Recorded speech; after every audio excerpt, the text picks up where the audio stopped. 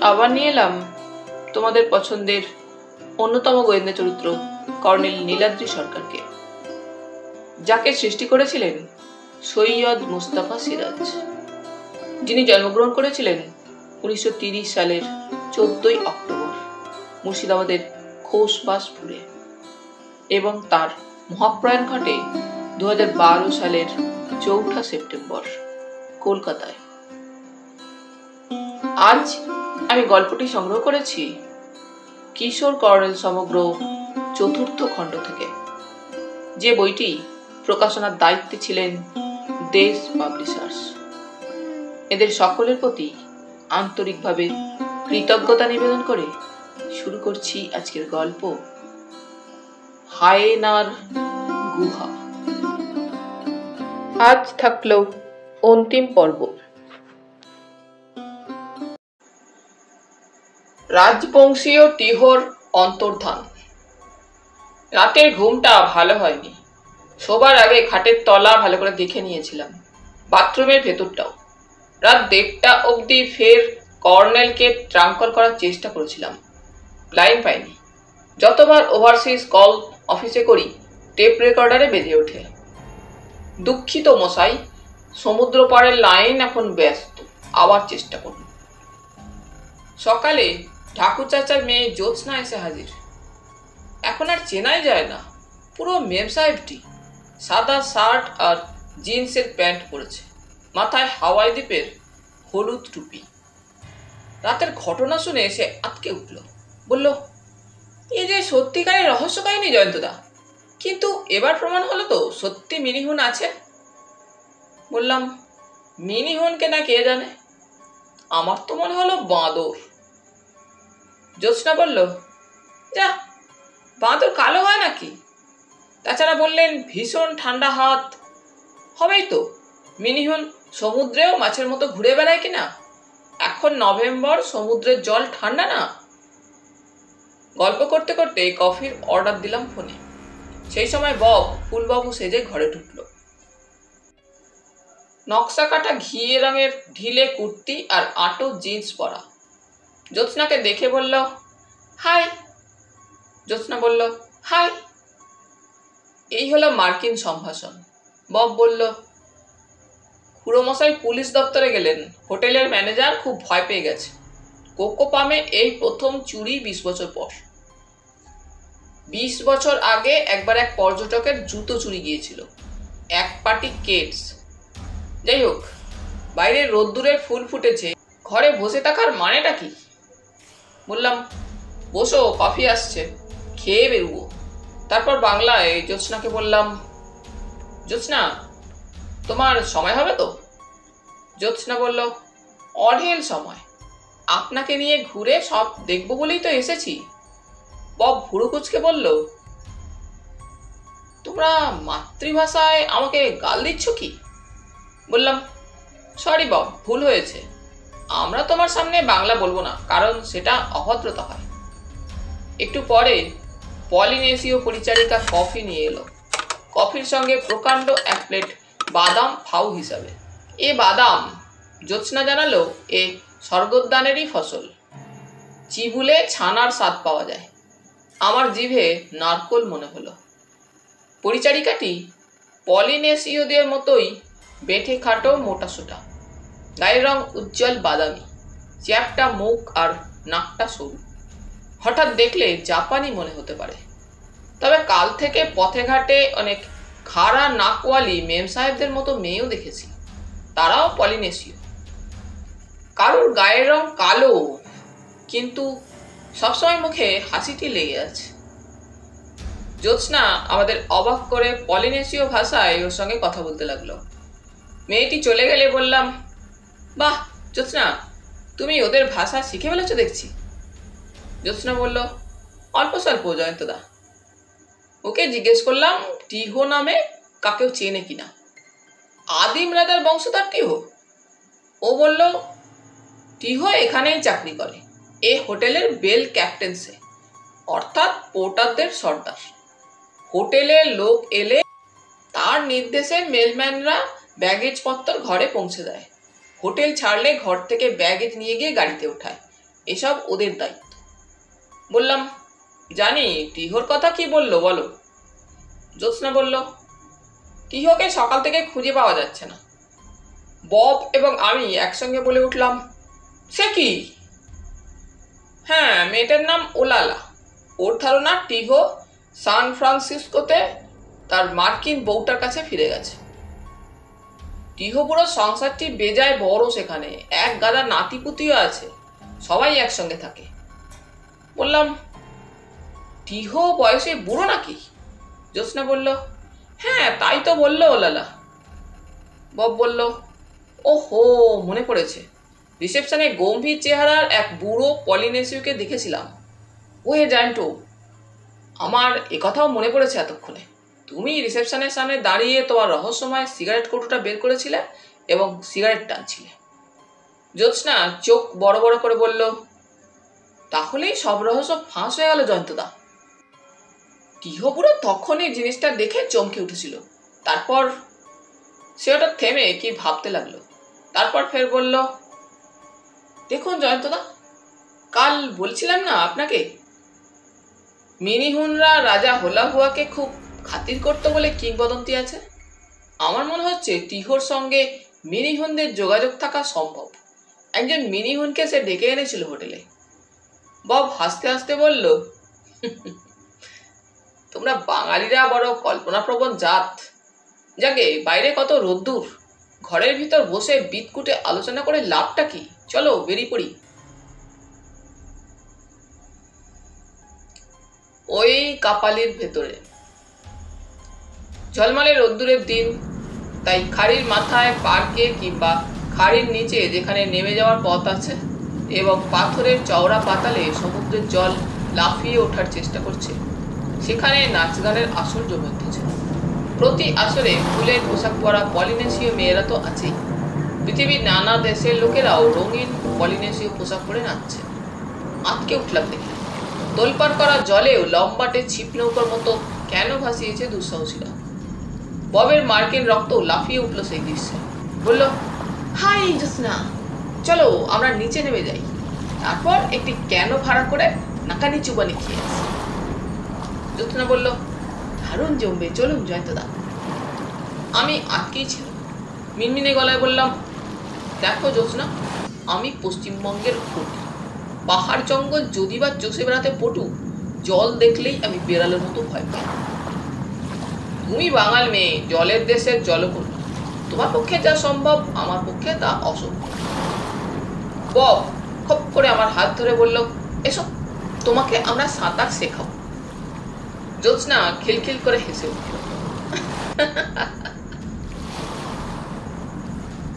Bob একটা প্রায় খাড়া ফাটল দিয়ে আমাকে হির হির করে টেনে নিয়ে চলল। মাধ্যাকর্ষণেরও টান আছে। তাই নিচের একটা চাতালে পৌঁছতে মিনিট দুয়েকের বেশি লাগল না। অথচ চাতালটা প্রায় হাজার ফুট নিচে। চাতালের কিনারায় সমুদ্রের জল এসে ফোনা তুলছে। ছড়িয়ে এসে ভিজিয়ে দিচ্ছে। কেমন একটা আষ্টে গন্ধ জলের। অসংখ্য সমুদ্র পাখি উড়ে বেড়াচ্ছে। ডাকাডাকি করছে।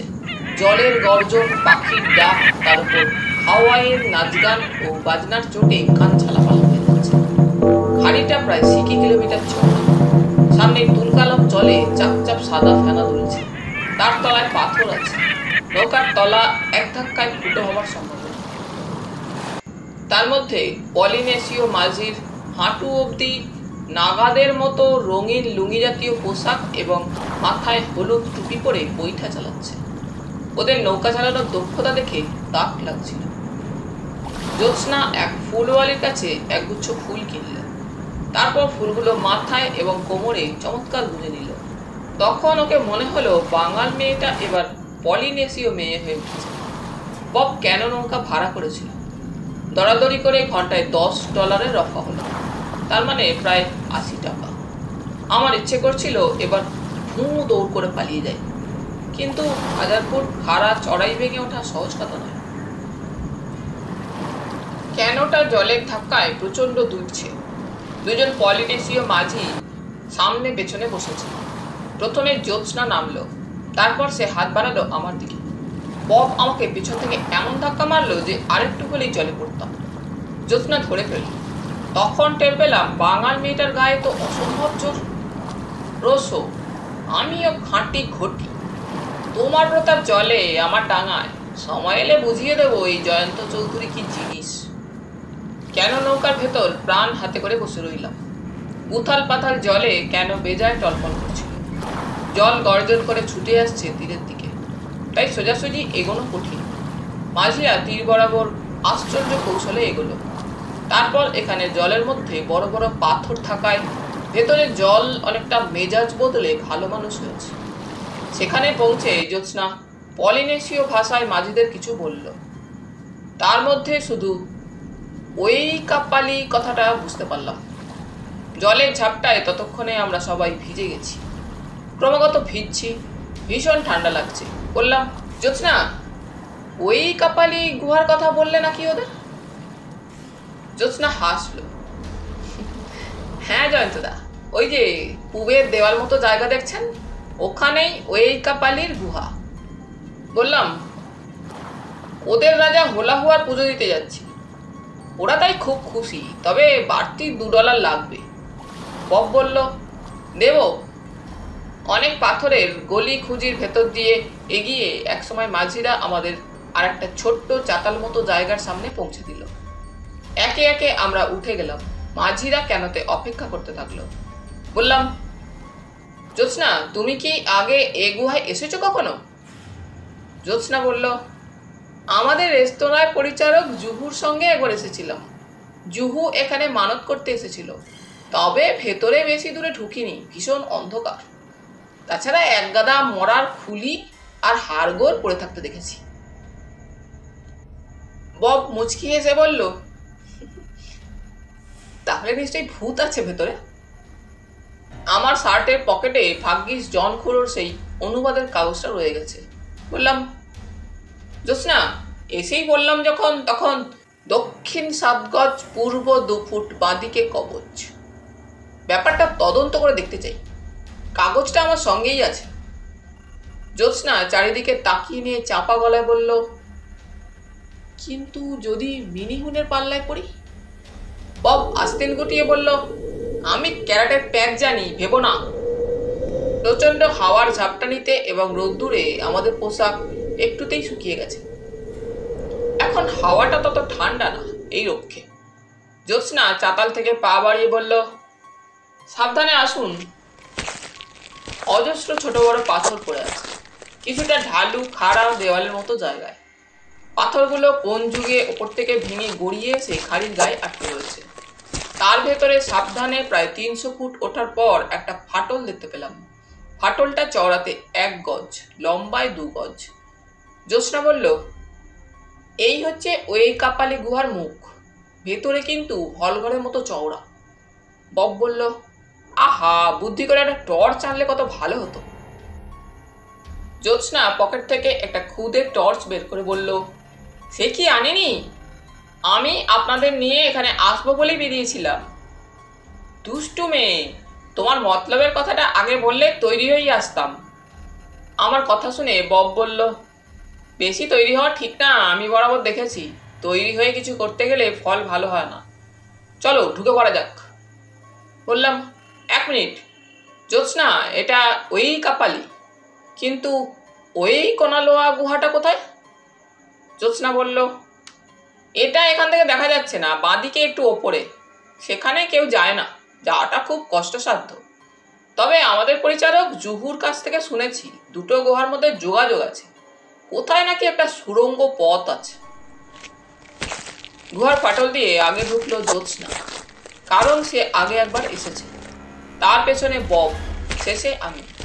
ঢুকতেই একটা বিটকেল গন্ধে গা গুলিয়ে উঠল। নাকে রুমাল চাপা দিলাম তিনজনেই। ভেতরটা সত্যি প্রকাণ্ড হলঘরের মতো।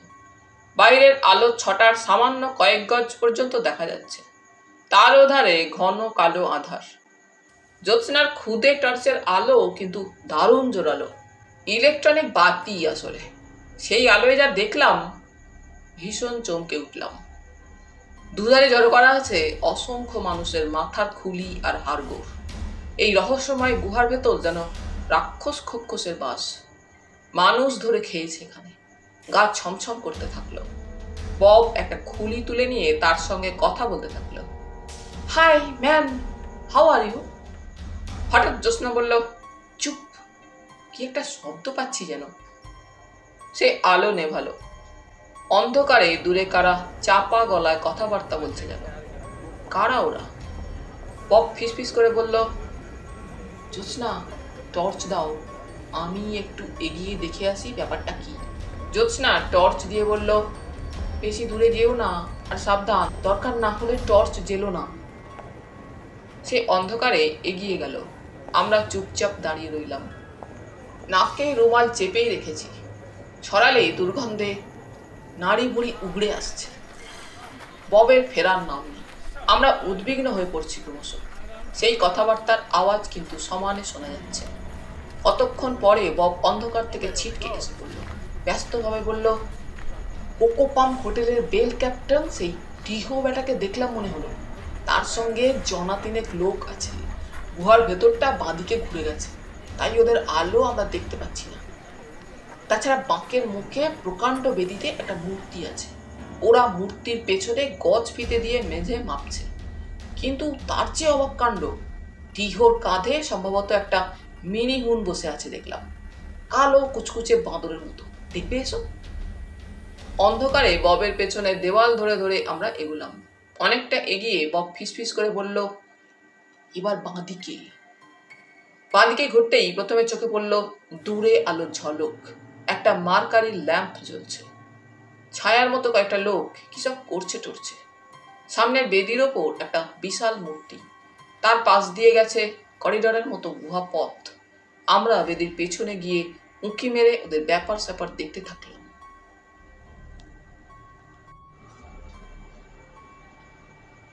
হোয়া হোয়া হোয়া, আ আ।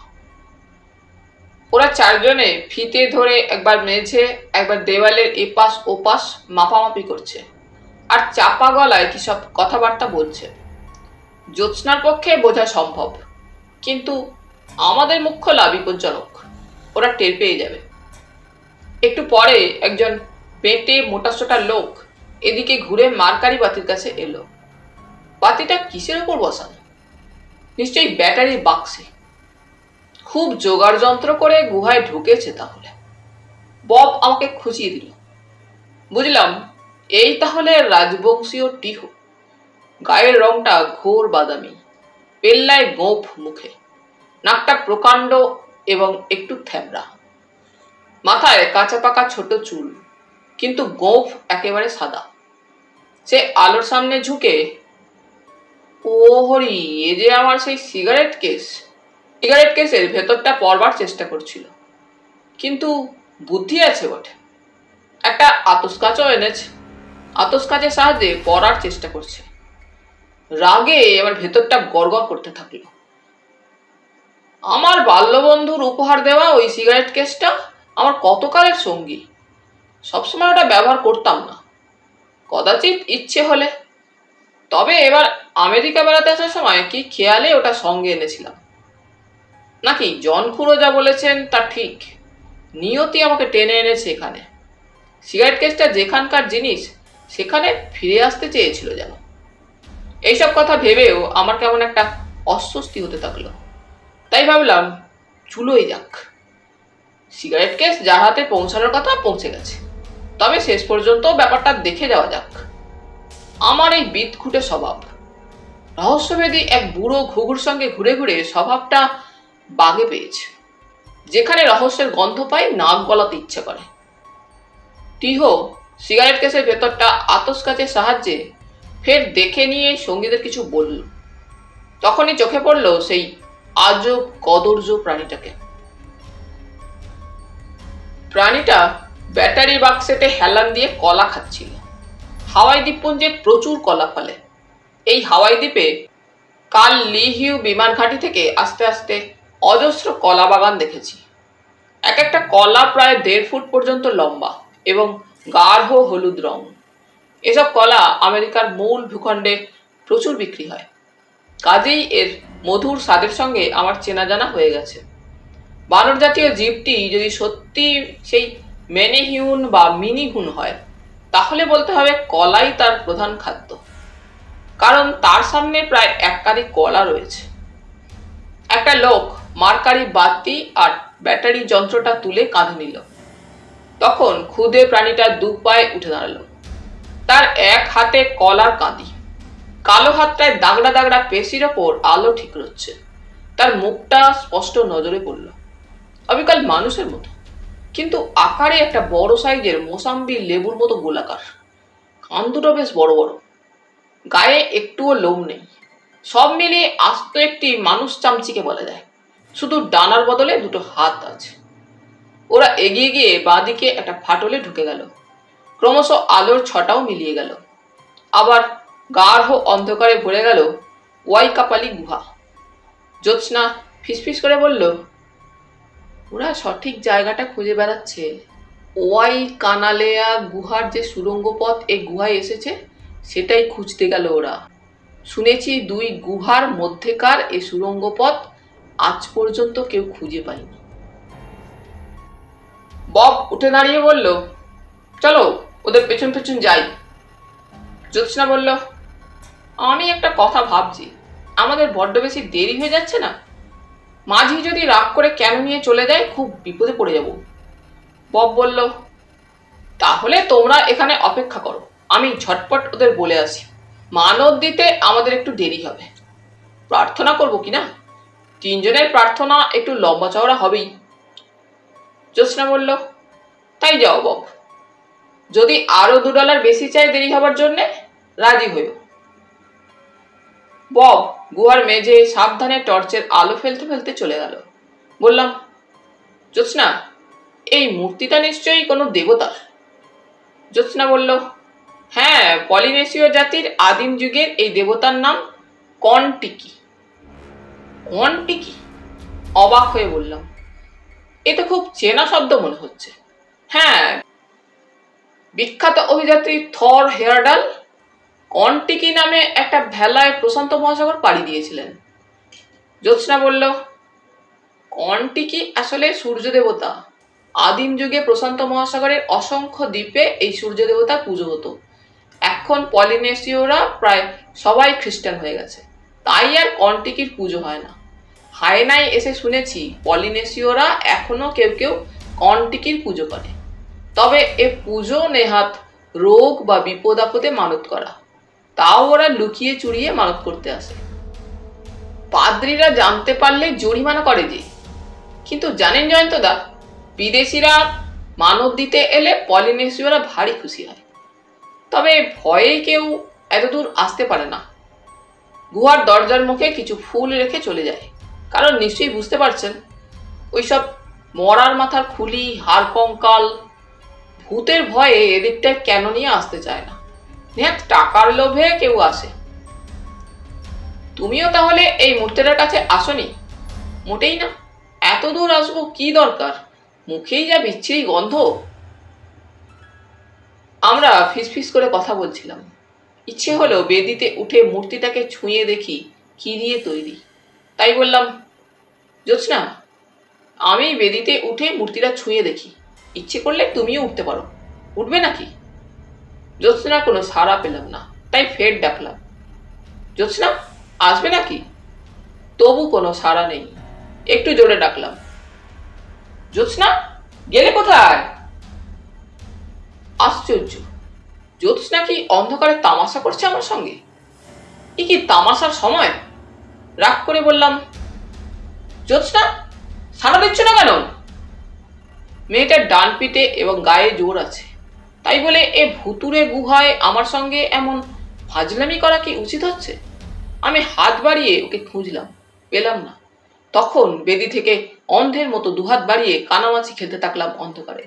দেয়ালে ধাক্কা লাগতেই আরও চটে গিয়ে গলা চড়িয়ে বললাম, হচ্ছেটা কি? জ্যোৎস্না জ্যোৎস্না ঠিক সেই সময় অন্ধকারে দূরে আচমকা বিভৎস একটা চেঁচামেচি শুনতে পেলাম হোয়া হোয়া হোয়া হোয়া হোয়া হোয়া হোয়া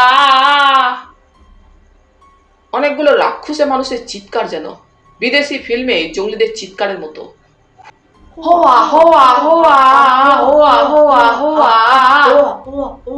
আমার সে চিৎকার করতে করতে এগিয়ে আসছে এদিকে মাথা ঠান্ডা রাখতে পারলাম না অন্ধকারে অন্ধের মতো দৌড়তে চেষ্টা করলাম। কোন দিকে দরজা? কোন পথে এসেছি তা ঠিক করতে পারলাম না। বারবার আছাড় খেলাম। জানতব চিৎকারটা খুব কাছে বলে মনে হলো। তারপর যেই পা ফেলেছি, হঠাৎ করে একটা গর্তে পড়ে গেলাম। পড়লাম একেবারে কনকনে ঠান্ডা জলে। জলে পড়ায় আঘাত লাগল না। কিন্তু কি তীব্র স্রোত। আমাকে টেনে নিয়ে চলল খড়ের কুটোর মতো। কতক্ষণ অসহায় ভেসে থাকার পর একখানে স্রোতটা হঠাৎ কমে গেল। অদ্ভুত ব্যাপার তো। তারপর জলটা আমাকে উল্টো দিকে ঠেলতে থাকল। সঙ্গে সঙ্গে টের পেলাম সমুদ্রের জল গুহার তলার সুরঙ্গে একবার করে প্রচণ্ড বেগে এগিয়ে আসছে, আবার পিছিয়ে যাচ্ছে। তাই এরকম দুমুখ টান জলে হাত বাড়িয়ে শক্ত কিছু খুঁজলাম। হাতের দেওয়াল ঠেকলো, কিন্তু জলের ধাক্কায় মসৃণ দেওয়াল ধরার উপায় নেই। আবার এক হ্যাচকা টানে স্রোতের মুখে ভাসলাম। হাত দুটো অসহায়ভাবে ওপরে বাড়াতেই ছাদে ঠেকলো। তারপর ছাদটা ঢালু হয়ে ডুবেছে টের পেলাম। সর্বনাশ। এবার জলের তলায় দম আটকে মারা পড়তে হবে যে। কিন্তু না ডুবে উপায় নেই। মাথা ভেঙে যাবে।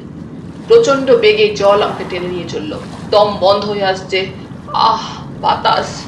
মাথা তোলার জন্য একটুখানি আকাশ। বুক ফেটে যাবে বুঝি। জলের টান যেন গভীর পাতালে নিয়ে চলেছে। একসময় আর সহ্য করতে পারলাম না।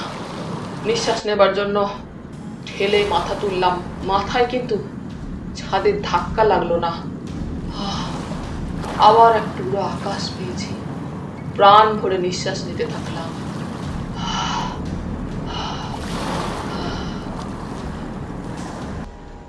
এখানে স্রোতটা কমেছে। জলটা ঘুরপাক খাচ্ছে। বাঁ দিকে একটু সরলে আবার তীব্র স্রোত পেলাম। তারপর সামনেটা স্পষ্ট হয়ে উঠল ক্রমশ। একটা ফাটল দিয়ে রোদ্দুর ঢুকছে। বরফ গলা জলে শরীর নিঃশ্বাস, কিন্তু রোদ্দুর দেখে বাঁচার তাগিদ জোরালো হয়ে উঠেছে। ফাটলের কাছে পৌঁছাতেই আঁকড়ে ধরলাম একটা পাথরের খাঁজ। ফাটলটা প্রায় হাত দারিক চওড়া। অনেক কষ্টে সেখান দিয়ে উপরে উঠতে থাকলাম।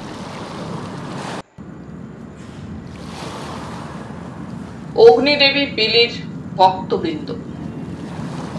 চারটি খুঁটিয়ে দেখে বুঝতে পেরেছি আমার অবস্থা হয়েছে রবিনসন ক্রুসোর মতো। যেখানে বসে আছি তার নিচে হ্রদ। হ্রদের একটা দিক সমুদ্রের সঙ্গে যুক্ত। বাকি তিন দিকে পাহাড়। খাড়া দেওয়ালের মতো পাহাড়। হ্রদের জলে হাজার হাজার পাখি ভেসে বেড়াচ্ছে। সমুদ্রের সঙ্গে একটা চওড়া নালা দিয়ে হ্রদের যোগাযোগ রয়েছে। সেখানে জলটা প্রচণ্ড ফুসছে কিন্তু হ্রদের ভেতর তত ঢেউ নেই। মাঝে মাঝে ঝাঁকে ঝাঁকে পাখি উড়ে আসছে। জলে বসছে আবার তুমুল চেঁচামেচি করতে করতে উড়ে যাচ্ছে। পাহাড়ের গায়ে একটা ছোট্ট চাতালে বসে থাকতে থাকতে আমার ভিজে পোশাক শুকিয়ে গেছে। এখন বেলা প্রায় বারোটা বাজে। হ্রদের ওপর দিয়ে একটু আগে একটা হেলিকপ্টার উড়ে গেছে। আমি চিৎকার করেছিলাম, কিন্তু ওরা লক্ষ্য করেনি। খুব দমে গেছি। আমার ওপর দিকে পাহাড় এত খাড়া, ওদিক দিয়ে ওঠা অসম্ভব। অথচ একটা কিছু করতেই হবে। বসে থাকতে থাকতে চোখে পড়ল, চাতালটার নিচে যে ফাটল দিয়ে আমি উঠেছি, তার ভেতর এক স্থানে একটা প্রকাণ্ড গর্ত রয়েছে। গর্তটা কালো দেখাচ্ছে। ওর ভেতর ঢুকলে আবার সুরঙ্গ নদীতে পড়ব কিনা কে জানে? তবু চেষ্টা করা যেতে পারে। সাবধানে নেমে গর্তটার কাছে গেলাম। পা রাখার জায়গা গর্তের বাইরে কোথাও নেই। তাই পাথরের খাঁজ আঁকড়ে ধরে গর্তের ভেতর ঢুকে পড়লাম। এতক্ষণে মনে পড়ল আমার পকেটে একটা গ্যাস লাইটার আছে। গর্তটা প্রায় এক গজ চওড়া, গজ দুই উঁচু। দাঁড়িয়ে থাকা যাচ্ছে। লাইটার জেলে যেটুকু দেখতে পেলাম, তাতে প্রমাণ পাওয়া গেল এক সময় এখানে মানুষ এসেছিল। কারণ এক কুচি কাগজ আর কয়েকটা পোড়া সিগারেটের টুকরো পড়ে আছে। আশায় নেচে উঠলাম, মানুষ এখানে যদি এসে থাকতে পারে, যাওয়ার পথও নিশ্চয়ই আছে। লাইটার নিভিয়ে যা থাকে বলাতে ভেবে সাবধানে এগিয়ে গেলাম। কিছুটা যাওয়ার পর ফের লাইটার জ্বালি আর দেখে নিই। আবার কিছুটা এগিয়ে যাই। এমনি করে অনেকটা গিয়ে টের পেলাম, এটাও একটা গুহা। ক্রমশ ভেতরটা হলঘরের মতো চওড়া হয়ে উঠেছে। কিন্তু ওই কাপালির মতো কোনো দুর্গন্ধ টের পাচ্ছি না। বরং কি একটা মিঠে গন্ধ মাঝে মাঝে আবছাভাবে নাকে ভেসে আসছে। গন্ধটা কিসের হতে পারে? এমন মিঠে গন্ধ আমার অচেনা। তাহলে কি এটাই হায়নার তিন নম্বর গুহা? মানিনি হোলা এই গুহাটার কথা জন খুড়োর কাছে শুনেছিলাম। এটার নাম শুকনো গুহা। কারণ কি? তলায় সুরঙ্গ নদী নেই বলে? জনখুড়ো বলতে পারিনি। শুধু বলেছিলেন, পলিনেশীয় ভাষায় একে বলা হয় শুকনো গুহা। যে জন্যেই শুকনো গুহা বলা হোক, তা নিয়ে মাথা ঘামানোর মেজাজ নেই। আমাকে বেরিয়ে পড়তে হবে। এটাই আসল কথা। নইলে রবিনসন ক্রুসোর মতো জীবন কাটাতে হবে। লাইটারের গ্যাস ফুরিয়ে আসছে। তাই অন্ধকারে দেওয়াল খুঁজে হাঁটছিলাম। একখানে দেওয়ালটা বাঁ দিকে বেঁকে গেছে। সেখানে বাধ্য হয়ে লাইটার জ্বালালাম। চোখে পড়ল ওই কাপালির মতো এখানে উঁচু বেদির ওপর একটা মূর্তি রয়েছে। বেদির ওপর মূর্তির পায়ের কাছে এক গাদা শুকনো ফুল। আবার লাইটার জেলে মূর্তিটা দেখতে গিয়ে অবাক হলাম। এটা কন্টিকির মতো কালো নয়, হলুদ রঙের পাথরে তৈরি। তাছাড়া এটা দেবী মূর্তি। কিন্তু কি হিংস্র চেহারা? লাইটারের গ্যাস হঠাৎ একসময় পুড়ে শেষ হয়ে গেল। আবার দেওয়ালের দিকে পা বাড়িয়েছি। অমনি অন্ধকারে ঠান্ডা কিছু আমার কাঁধে ছাপিয়ে পড়ল এবং মুখ চেপে ধরল। ঠান্ডা হিম দুটো ছোট্ট হাত। চেঁচিয়ে ওঠার সুযোগও পেলাম না। কিন্তু তক্ষুনি টের পেলাম মিনি হুনের খপ্পরে পড়েছি। ওই কাপালিতে জ্যোৎস্নাও তাহলে ঠিক এইভাবে বেটার ছেলের পাল্লায় পড়েছিল। একটা দুটো নয়, মনে হচ্ছিল এক পাল মিনিহুন আমার উপর নিঃশব্দে ছাপিয়ে পড়েছে এবং আমাকে তারা চ্যাঙ্গোলা করে নিয়ে চলল অন্ধকারে। আমার কাঁধের মিনিহুন মুখটা শক্ত করে ধরে রইল। মনে হলো বাধা দিলে ও আমার হাড় গুঁড়ো করে ফেলবে। কিন্তু আশ্চর্য, নাকটা খোলা থাকায় সেই মিঠে গন্ধটা ক্রমশ তীব্র হয়ে ভেসে আসছিল। এত তীব্র যে গন্ধে মাথা ঝিনঝিন করতে থাকল। তারপর আমি জ্ঞান হারিয়ে ফেললাম। যখন জ্ঞান হলো, তখন দেখলাম একটা চারকোনা ঘরের মেঝের দেওয়ালে হেলান দিয়ে বসে আছি। আমার হাত পা বাঁধা হয়নি, কিন্তু গায়ে এতটুকু জোর নেই যে উঠে দাঁড়াই। ঘরের দেওয়ালে অসংখ্য দেবী মূর্তির চুলগুলো সাপের মতো ফনা তোলা এবং দু চোখে রাগ ঠিকরে পড়ছে। সামনে একটা সোনালী রঙের সিংহাসন। সিংহাসনে কেউ নেই। সিংহাসনের মাথার উপর রাত ছত্র থেকে হলুদ রঙের আলো ছড়াচ্ছে। ঘরের ভেতর একেবারে ফাঁকা। বিদঘুটে প্রাণীগুলো গেল কোথায়? অতি কষ্টে দেওয়ালে ভর করে উঠে দাঁড়ালাম। মেঝে কোন কালের পুরানো কার্পেট পাতা রয়েছে, ছাদেও সেই রকম দেবী মূর্তি আঁকা। চারদিক থেকে হিংস্র দৃষ্টিতে মূর্তিটা আমাকে যেন গিলে ফেলতে চাইছে। সিংহাসনের ওপর রাজছত্রের আলোটা স্থির। কাছে গিয়ে মনে হলো ওটা সাধারণ কোনো আলো নয়। সম্ভবত কোনো রকম রত্ন পাথর, তা থেকে আলো ছড়াচ্ছে। ঘরের দেওয়াল একেবারে নিরেট। কোথাও দরজার চিহ্নটি নেই। ভারী অদ্ভুত তো। চারিদিক ঘুরে ঘুরে দেখে নিচ্ছি, হঠাৎ সিংহাসনের পেছনের দেওয়ালের একটা অংশ ভেতর ঢুকে গেল। তারপর আটকে উঠে দেখলাম দুটো কালো, কদর্য, বাঁদর জাতীয় ক্ষুদে মানুষ। হ্যাঁ সেই মিনিহুন, ওরা ঘরে ঢুকলো। তাদের দুজনের হাতে দুকাঁদি কলা। আমি পিছিয়ে এসে দেওয়ালে পিঠ রেখে দাঁড়িয়েছি। ওরা কলার কাঁদি দুটো আমার সামনে রেখে একসঙ্গে কালো মুখের সাদা দাঁত বের করে বলল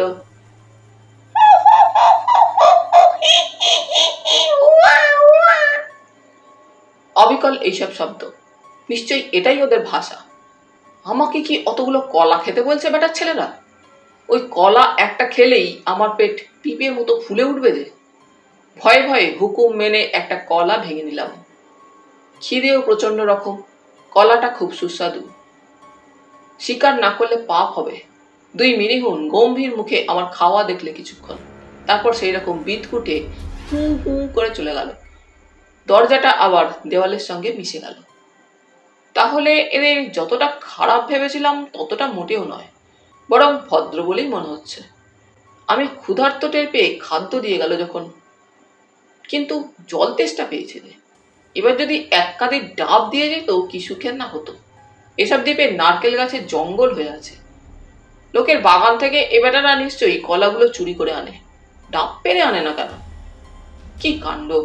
ওরা কি মনের কথা টের পায়? দরজাটা খুলে গেল। তারপর সত্যি সত্যি দুটো বিনিহুন এরা নিশ্চয়ই আগের দুজনই। এক কাঁদি প্রকাণ্ড প্রকাণ্ড ডাব এনে বলল, মুখে মিঠে হাসি রেখে বললাম, খেতে তো বলছো, কিন্তু ডাব কাটার অস্ত্র চাই যে? ছুরি টুরি নেই তোমাদের? ইশারায় ব্যাপারটা বুঝিয়েও দিলাম। ওরা মুখ তাকাতাকি করল। তারপর দুজনে একটা করে ডাব পটাপট ছেঁড়া আর বোটার দিকটা হ্যাঁচকা টানে ওপরায় জল ছলকে পড়ে। কি দারুণ জোর ওদের গায়ে। প্রাণ ভরে ডাবে জল খেলাম। পরপর তিনটে। পেট ফুলে ঢোল হলো। হাত নেড়ে বললাম, থাক থাক, এই যথেষ্ট হয়েছে বন্ধুরা। ওরা এবার পরস্পরের দিকে তাকিয়ে ফুতুরে হেসে উঠল। পিলে চম্পার হাসি রে বাবা। বললাম থাক থাক, আর হাসে না। ওরা পিটপিটে চোখে আমার দিকে তাকিয়ে রইল। বললাম হ্যাঁ অসংখ্য ধন্যবাদ আমার খুদে বন্ধুরা। এবার দয়া করে আমাকে বাইরে পৌঁছে দাও দেখি। কে জানে কেন, ওরা আমাকে জিভ ভ্যাংচাতে শুরু করল। দেখে তো বেজায় ভরকে গেলাম। কাচু মাচু মুখ করে বললাম আচ্ছা আচ্ছা আর বেরোবার নাম করব না। দোহাই বাবা, আর অমন বিচ্ছিরি ভেংচি কাটে না। ওরা এবার আমাকে বুড়ো আঙুল দেখাতে শুরু করল। আমেরিকায় বুড়ো আঙুল দেখানো খুব আনন্দের এবং বন্ধুতার ব্যাপার। আমি ওদের বুড়ো আঙুল দেখাতে থাকলাম। তখন ওরা সাদা দাঁত বের করে হেসে উঠল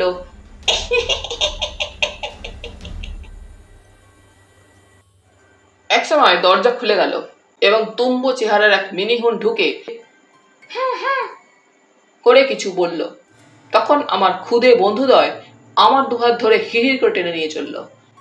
করিডরে সুন্দর এক ফালি পথ। সেই রকম আলো জ্বলছে। তলায় তেমনি কার্পেট বিছানো রয়েছে। কিছু দূর চলার পর সামনের দরজা খুলে গেল। ভেতরে ঢুকে দেখি প্রকাণ্ড হলঘরের মধ্যে প্রায় শখানেক মিনিহুন গম্ভীর মুখে বসে রয়েছে। উঁচু বেদির উপর যে দাঁড়িয়ে রয়েছে, তাকে দেখে চমকে উঠলাম। অবিকল সেই দেবী মূর্তির মতো চেহারা। গায়ের রং উজ্জ্বল সোনালি, কোকড়ানো লাল একরাশ চুল মাথায়। পরনে ঝলমলে হলুদ রঙের আলখাল্লার মতো পোশাক। আমাকে বেদির সামনে দাঁড় করিয়ে রেখে মিনিহুন্দয় সরে গিয়ে ভিতে বসে পড়ল। বেদির মহিলাটির দিকে তাকিয়ে থাকতে থাকতেই বুঝতে পারলাম, স্বর্গের কোনো দেবী টেবি নন মোটেও। মেম সাহেব না হয়ে যান না। আমার অনুমান সত্যি হলো তক্ষুনি। মহিলাটি আমেরিকান উচ্চারণে ইংরেজিতে বলে উঠলেন I am the fire goddess Pele আমি অগ্নিদেবী পিলি সারা প্রশান্ত মহাসাগরের পলিনেশীয় দ্বীপগুলিতে একসময় আমার স্বামী সূর্যদেব কন্টিকি এবং আমার পুজো হতো। বর্বর ইউরোপীয় জাতির লোক আমাদের পুজো বন্ধ করে দিয়েছে। তাই ওদের মৃত্যুদণ্ড দিয়েছি। আমার হিংস্র হায়নার দল ওদের সামনে পেলেই ঝাঁপিয়ে পড়ে, টুকরো টুকরো করে খেয়ে ফেলে। ওয়ে কাপালির দরজায় খুলি এবং হাড়ের পাহাড় গড়ে তুলেছি। দেখে যেন ওদের শিক্ষা হয়। আটকে উঠে বলে ফেললাম মাননীয় মহোদয়, আমি মোটেও ইউরোপীয় নই, আমি একজন ভারতীয়। আমার চেহারা আর গায়ের রং দেখুন। কথাগুলো অগ্নিদেবী কানে নিলেন বলে মনে হলো না, হেসে উঠলেন। বড় হিংস্র হাসি, আর তার কালো কুচকুচে খুদে ভক্তবৃন্দ একসঙ্গে বিকট ভুতুরে হাসি হাসতে লাগল।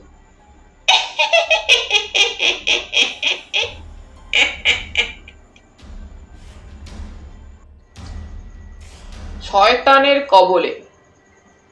কিন্তু ততক্ষণে আমার মাথায় অনেক প্রশ্ন জেগেছে। কে এই অগ্নিদেবী পিলি? বুঝতে পারছি, ইনি একজন মেম সাহেব তো বটেই এবং আমেরিকান। কারণ মার্কিন মহিলাদের মতো নাকি সুরে ইংরেজি উচ্চারণ করছেন। তাছাড়া ওই ইংরেজিও আমেরিকান ইংরেজি। প্রায় মাস চারেক আমেরিকায় থেকে আমার অভিজ্ঞতা হয়েছে। ব্রিটেন, কানাডা আর আমেরিকা তিনটি দেশেই ইংরেজি ভাষায় লোকেরা কথা বললেও বেশ খানিকটা তফাত আছে। ভাষায় উচ্চারণ বাচন ভঙ্গিতে অনেক অমিল। তারপরের প্রশ্ন জ্যোৎস্নাকেও নিশ্চয়ই মিনিহুনরা তখন আমার মতো করে পাকড়াও করেছিল? তাকে কোথায় রেখেছে? আমাদের ধরে আনার উদ্দেশ্যটাই বা কি? অপভণ্ড জীবগুলোর ভুতুরে হাসি থামতেই চায় না। অগ্নিদেবী চেঁচিয়ে ধমক দিলে তবে থামল। তখন সাহস করে বললাম, মাননীয় অগ্নিদেবী, আপনি কি আমার কথা বিশ্বাস করলেন না যে আমি একজন ভারতীয়? অগ্নিদেবী গর্জে উঠলেন, ভারতীয় হও আর যেই হও, তোমার সভ্য দুনিয়ার লোকেরা আমার শত্রু। তোমরা বিশ্বাসঘাতক, স্বার্থপর, ধূর্ত। আমি তোমাদের ঘৃণা করি ঘৃণা করি ঘৃণা করি। বলতে বলতে আরও অস্বাভাবিক এবং হিংস্র হয়ে উঠল ওর চেহারা। তারপর দুলতে থাকলেন, দুলতে দুলতে চোখ বুজে ফেললেন, তারপর ফুপিয়ে কেঁদে উঠলেন।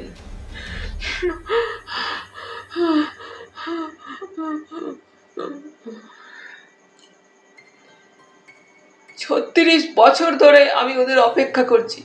ওরা এসে আমাকে নিয়ে গেল না। ওরা আমাকে হায়নার গুহায় রেখে চলে গেল। বলে গেল, ফিরে এসে আমাকে নিয়ে যাবে। ওরা বিশ্বাসঘাতক ওরা বিশ্বাসঘাতক ওরা। কথাগুলো শুনতে শুনতে চমকে উঠেছিলাম। তারপর হঠাৎ কোথা থেকে ভরাট গম্ভীর গলায় ইংরেজিতে কে বলে উঠল, মারিয়া মারিয়া, তুমি কি চুপ করবে? চুপ না করলে তিন নম্বর শাস্তি তোমার পাওনা হবে। সাবধান। অগ্নিদেবীর নাম তাহলে মারিয়া। নামটা কেমন যেন চেনা লাগছে। মারিয়া চুপ করেছেন। চোখ খুলে তেমনি হিংস্র চোখে তাকিয়ে বললেন হ্যাঁ আমি চুপ করেছি, ফাদার গ্রিনকট। অদৃশ্য ফাদার গ্রিনকটের আওয়াজ এলো। যাও, এবার তোমার কর্তব্য পালন করো।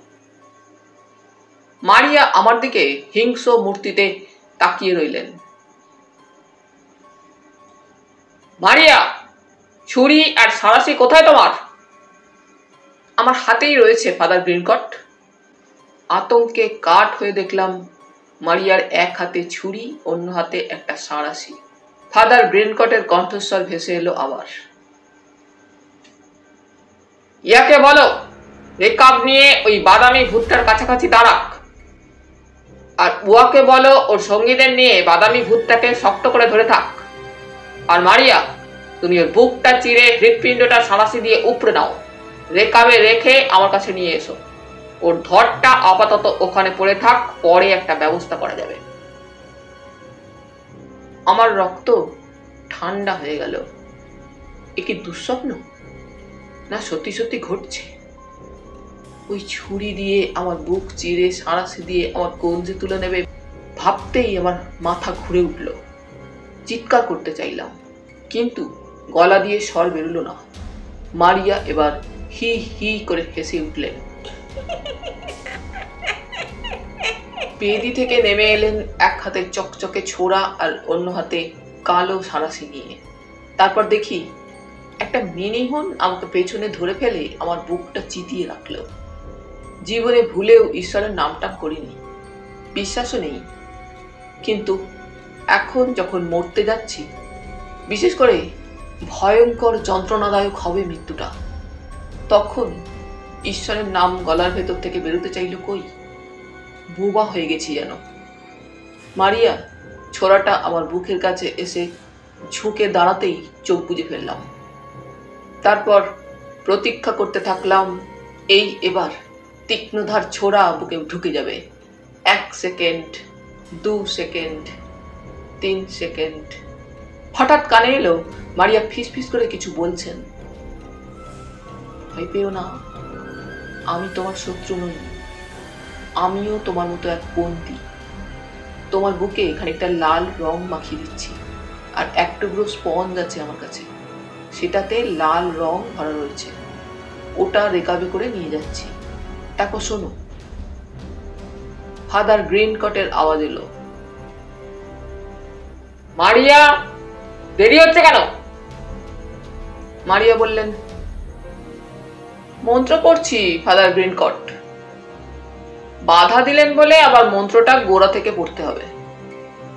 শয়তান ফাদার গ্রিন কট অদৃশ্য থেকে বলল, হুম, ঝটপট মন্ত্রটা আওড়ে নাও।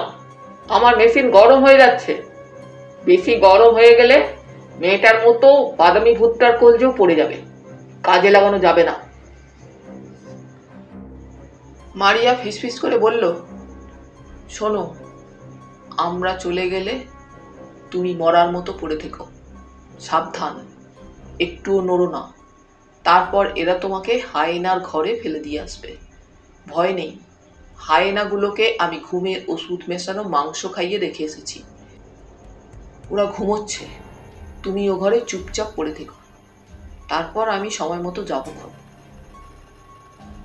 মারিয়া ছোড়া আর লাল রং ভরা স্পঞ্জটা বুকে ঠেকিয়ে বলল, সত্যি সত্যি বুক চিরে হৃৎপিণ্ড বের করলে মানুষ ফের যেমন আর্তনাদ করে, তেমনি আর্তনাদ করো। সাবধান, শয়তানটা যেন টের না পায়, যেন তুমি অভিনয় করছ। এর ওপর তোমার বাঁচা মরা নির্ভর করছে। আমি একসময় থিয়েটার করতাম। মৃত্যু যন্ত্রণায় আর্তনাদের অভিনয় একবারই করেছিলাম। এখনও প্রাণের দায়ে সেই রকম রাম চেঁচানি চেঁচিয়ে উঠলাম।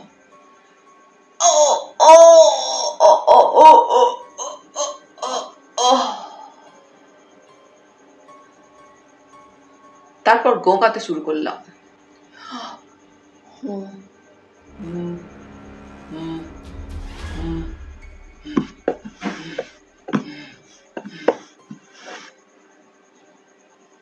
হাত পা ছোঁড়াছুড়িও চালিয়ে গেলাম যতটা পারি। শয়তান ফাদার গ্রিন কটের নেপথ্য অট্টহাসি শোনা গেল।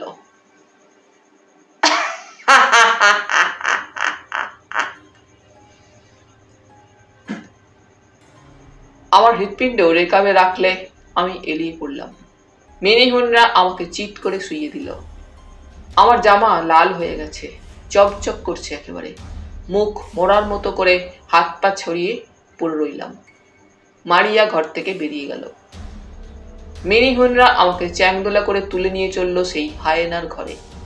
গুহার ভেতরে যেন প্রাসাদ পুরী। কারা বানিয়েছে এই সুন্দর পুরী? মিনিহুনরা তো নয় হয়তো কোনো প্রাচীন যুগের আদিম রাজা এই পাতালপুরি বানিয়েছিল। যেভাবেই হোক, ফাদার গ্রিনকট নামে এক শয়তান এখানে আস্তানা করেছে। হায়নার ঘর একটা জেলখানা যেন। মনে হলো আদিম পলিনেসীয় রাজার বন্দিশালা ছিল এটা। দুর্গন্ধে বমি আসছে। মাথার ওপর একটা আলো জ্বলছে। সেই আলোয় চোখের ফাঁক দিয়ে দেখলাম প্রায় এক ডজন কুৎসিত চেহারা হায় না দাঁত ছড়কুটে ঘুমোচ্ছে। কারুর ঠ্যাং ওপরে, কারুর পাশে। মিনিহুনরা একটা ফাঁকা জায়গায় আমাকে ধপাস করে ফেলে চলে গেল। গড়াদের দরজা বন্ধ করতে ভুলল না। একটু পরে সাবধানে কাত হলাম। আমার চারপাশে হায়নার পাল মরার মতো পড়ে আছে। এরা যদি দৈবাত জেগে ওঠে, আমাকে বাঁচতে হবে না। হায়না মানুষকে ভয় পায় জানি, কিন্তু এরা যেন দল বেড়ে আছে এবং নরমাংস খেতে অভ্যস্ত হয়েছে নিশ্চয়ই। এদিক ওদিক তাকিয়ে উঠে বসলাম। হঠাৎ একটা হায়না ঘুমের ঘরে পাশ ফিরতেই বুক ধরাস করে উঠল। সঙ্গে সঙ্গে ফের মরার মতো চিত হয়ে শুয়ে পড়লাম। তারপর মনে হলো, তাহলে কি ওই কাপালি গুহার ভেতর যে হোয়া হোয়া গর্জন শুনেছিলাম তা এইসব হায়নারই কিন্তু হায়না তো মানুষের হাসির মতো শব্দ করে।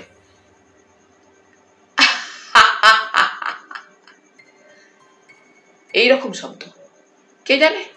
হাওয়াই দ্বীপপুঞ্জের হায়নারা হয়তো ওই রকম হোয়া হোয়া করে। কতক্ষণ পরে পায়ের শব্দ শুনতে পেলাম। তারপর দরজা খুলল। আর চোখে দেখলাম কালো কাপড়ে ঢাকা মারিয়ার মূর্তি। তখন উঠে বসলাম। মারিয়া বললেন, চলে এসো আমার সঙ্গে, সাবধান, কোনো শব্দ নয়। মারিয়ার কাহিনী। একটা সরু করিডোর দিয়ে মারিয়া আমাকে নিয়ে চললেন। এ ঘর ও ঘর হয়ে একটা ছোট্ট ঘরে ঢুকলেন। তারপর বিস্ময় ও আনন্দে প্রায় চেঁচিয়ে উঠলাম। জ্যোৎস্না! মারিয়া আমার মুখ চেপে ধরেছেন সঙ্গে সঙ্গে। এ ঘরে সুন্দর একটা বিছানায় জ্যোৎস্না শুয়েছিল। উঠে মিষ্টি হেসে চাপাসরে বলল আসুন জয়ন্তদা, মারিয়া ঠাকমার আমরা অতিথি। মারিয়া ঠাকমা? বলে কি জ্যোৎস্না? কিন্তু ততক্ষণে মারিয়া কালো আলখাল্লাটা খুলেছেন। এবার দেখি, এ তো এক বৃদ্ধা। তখন মনে হচ্ছিল যুবতী না হলেও প্রৌঢ় তো ননি। বড়জল পঁয়ত্রিশ ছত্রিশের বেশি বয়স হবে না। এখনই দেখছি সরঞ্চুল বুড়ি। মুখের চামড়া কোচকানো, কিন্তু গায়ের জোরটা টিকে আছে, তা বোঝাই যাচ্ছে। মারিয়া বললেন, বসো, তবে চেঁচামেচি করা চলবে না। এখন শয়তান গ্রিন কট ওর ল্যাবরেটরিতে আছে। মিনি হুনগুলোর ওপর ওর পরীক্ষা চালাচ্ছে। গ্রিন কট ওদের মানুষ না বানিয়ে ছাড়বে না। বললাম, মানুষের কলজে ওদের বুকে ঢুকিয়ে মানুষ বানাবে বুঝি? মারিয়া বললেন না, হার্ট বদল করবে না। অন্যরকম পদ্ধতি নিয়ে মাথা ঘামাচ্ছে। তাহলে মানুষের কলজে কি কাজে লাগে ওর? মারিয়া বললেন, আমি ছত্রিশ বছর ধরে ওর পাল্লায় পড়ে বন্দি হয়ে আছি বলতে পারো। কারণ এখান থেকে বেরোনোর পথ খুঁজে পাইনি। তাই বাইরের পৃথিবীতে কি ঘটছে জানি না। তবে মাঝে মাঝে টের পেয়েছি, ফাদার গ্রিন কট মিনিহুনের সাহায্যে মানুষ ধরে আনে বাইরে থেকে। কীভাবে ধরে আনে বলছি। মিনিহুন্দা জলচরও বটে। খাড়ির সমুদ্রে ডুবে ওত পেতে থাকে। রাত বিরেতে কোনো দুঃসাহসী পর্যটক একলা খাড়ির নিচে চাতালে বেড়াতে এলেই মিনিহুন্ডা তাকে ধরে আনে। আমার ধারণা, হায়নার লোকেরা বা সরকারি মহল ভাবেন, পর্যটক বেঘরে ডুবে মারা পড়েছে। খাড়ি সমুদ্রে প্রচুর হাঙর আছে। কাজেই ওরা ধরে নেন, হাঙরে লাশটা খেয়ে ফেলেছে। জ্যোৎস্না বলল, আমি এক বছর আছি হায়নায়। তার মধ্যে প্রায় ছ সাতজন পর্যটকের রাতে বেড়াতে গিয়ে নিখোঁজ হওয়ার কথা শুনেছি। মারিয়া বললেন, ফাদার গ্রিন কট তাদের হার্ট ওষুধপত্র দিয়ে জিইয়ে রাখে। তারপর দেখেছি কারা এসে সেগুলো কিনে নিয়ে যায়। ওই টাকায় গ্রিন কট তার ল্যাবরেটরির যন্ত্রপাতি কিনে আনে। জ্যোৎস্না বলল আপনি চুপি চুপি ওর পেছন ধরলে নিশ্চয়ই বেরোনোর পথ চিনে রাখতে পারতেন। তারপর সেই পথ দিয়ে বাধা দিয়ে মারিয়া বললেন, ও ভীষণ ধূর্ত। মিনিহুনরা আমাকে যতই খাতির করুক, ও তাদের ঈশ্বরের মতো তককে তককে থাকে। কিন্তু এই যে আমি তোমাদের বাঁচালাম, মিনিহুনরা টের পেলেও গ্রিনকটকে জানাতে পারবে না। কেন জানো? প্রথম কথা, ওরা মানুষের ভাষা বোঝে না। দ্বিতীয় কথা, ওরা হাবে ভাবে মানুষের আচরণ টের পেলেও ওদের ওপর যা হুকুম, তার বাইরে কিছু করবে না। ওদের বোঝানো হয়েছে, আমি বা কোনো বন্দি যেন এই পাতালপুরি থেকে না পালতে পারে। কিংবা ধরো দৈবাত গুহার মধ্যে মানুষ এসে পড়লে তাকে পাকড়াও করে আনতে হবে। অনেক সময় গুহায় সশস্ত্র লোক ঢুকলে গ্রিনকট টের পায়। যেমন আজ কারা ঢুকে গাঁইতি মেরে সুরঙ্গের দেওয়াল ভাঙছিল অমনি গ্রিনকট মিনি হুনদের হুকুম দিলে হায়নার খাঁচা খুলে দিতে। হায়নারা গিয়ে তাদের খেয়ে ফেলল। টিহর ঘটনাটা আগাগোড়া বললাম। তারপর বললাম, সিগারেট কেসের কথা। শুনে মারিয়া চোখের জল মুছে বললেন, তাহলে এবার শোনো, কীভাবে আমি এখানে ছত্রিশ বছর ধরে আটকে রয়েছি? শুনে মারিয়ার কাহিনী সংক্ষেপে হলো এই। উনিশশো চুয়াল্লিশ খ্রিস্টাব্দে বিশ্বযুদ্ধের সময় জাপানিরা হঠাৎ মার্কিন পার্ল বন্দরে হামলা করে। মারিয়া তখন ওখানে ছিলেন হাসপাতালের নার্স হয়ে। বয়স তখন প্রায় তিরিশ বছর। বিয়ে করেননি। বাবা মা থাকেন লস অ্যাঞ্জেলেসে। পার্ল বন্দরে যুদ্ধ বাদলে কার্ল অসবর্ন, পিটার ওলসন এবং টিহো নামে তিনজন পাইলটকে প্যাসিফিক ব্যাংকের কর্তৃপক্ষ প্রচুর সোনার বাট আমেরিকার ওয়াশিংটন হেড অফিসে পৌঁছে দিতে বলেন। ওরা ছিল বিমান বাহিনীর ভলেন্টিয়ার ফোর্সে মারিয়ার সঙ্গে ওদের চেনা ছিল। পালিয়ে তখন সবাই প্রাণ বাঁচাচ্ছে। মারিয়া ওদের সঙ্গে ছোট্ট বিমানে প্রশান্ত মহাসাগর পাড়ি দেন। কাওয়াই দ্বীপের হায়নাতে পৌঁছে ওরা হঠাৎ প্লেন নামায় একটা পাহাড়ি উপত্যকায়। ওদের মতলব সোনাটা হাতাবে। মারিয়া কি করবেন?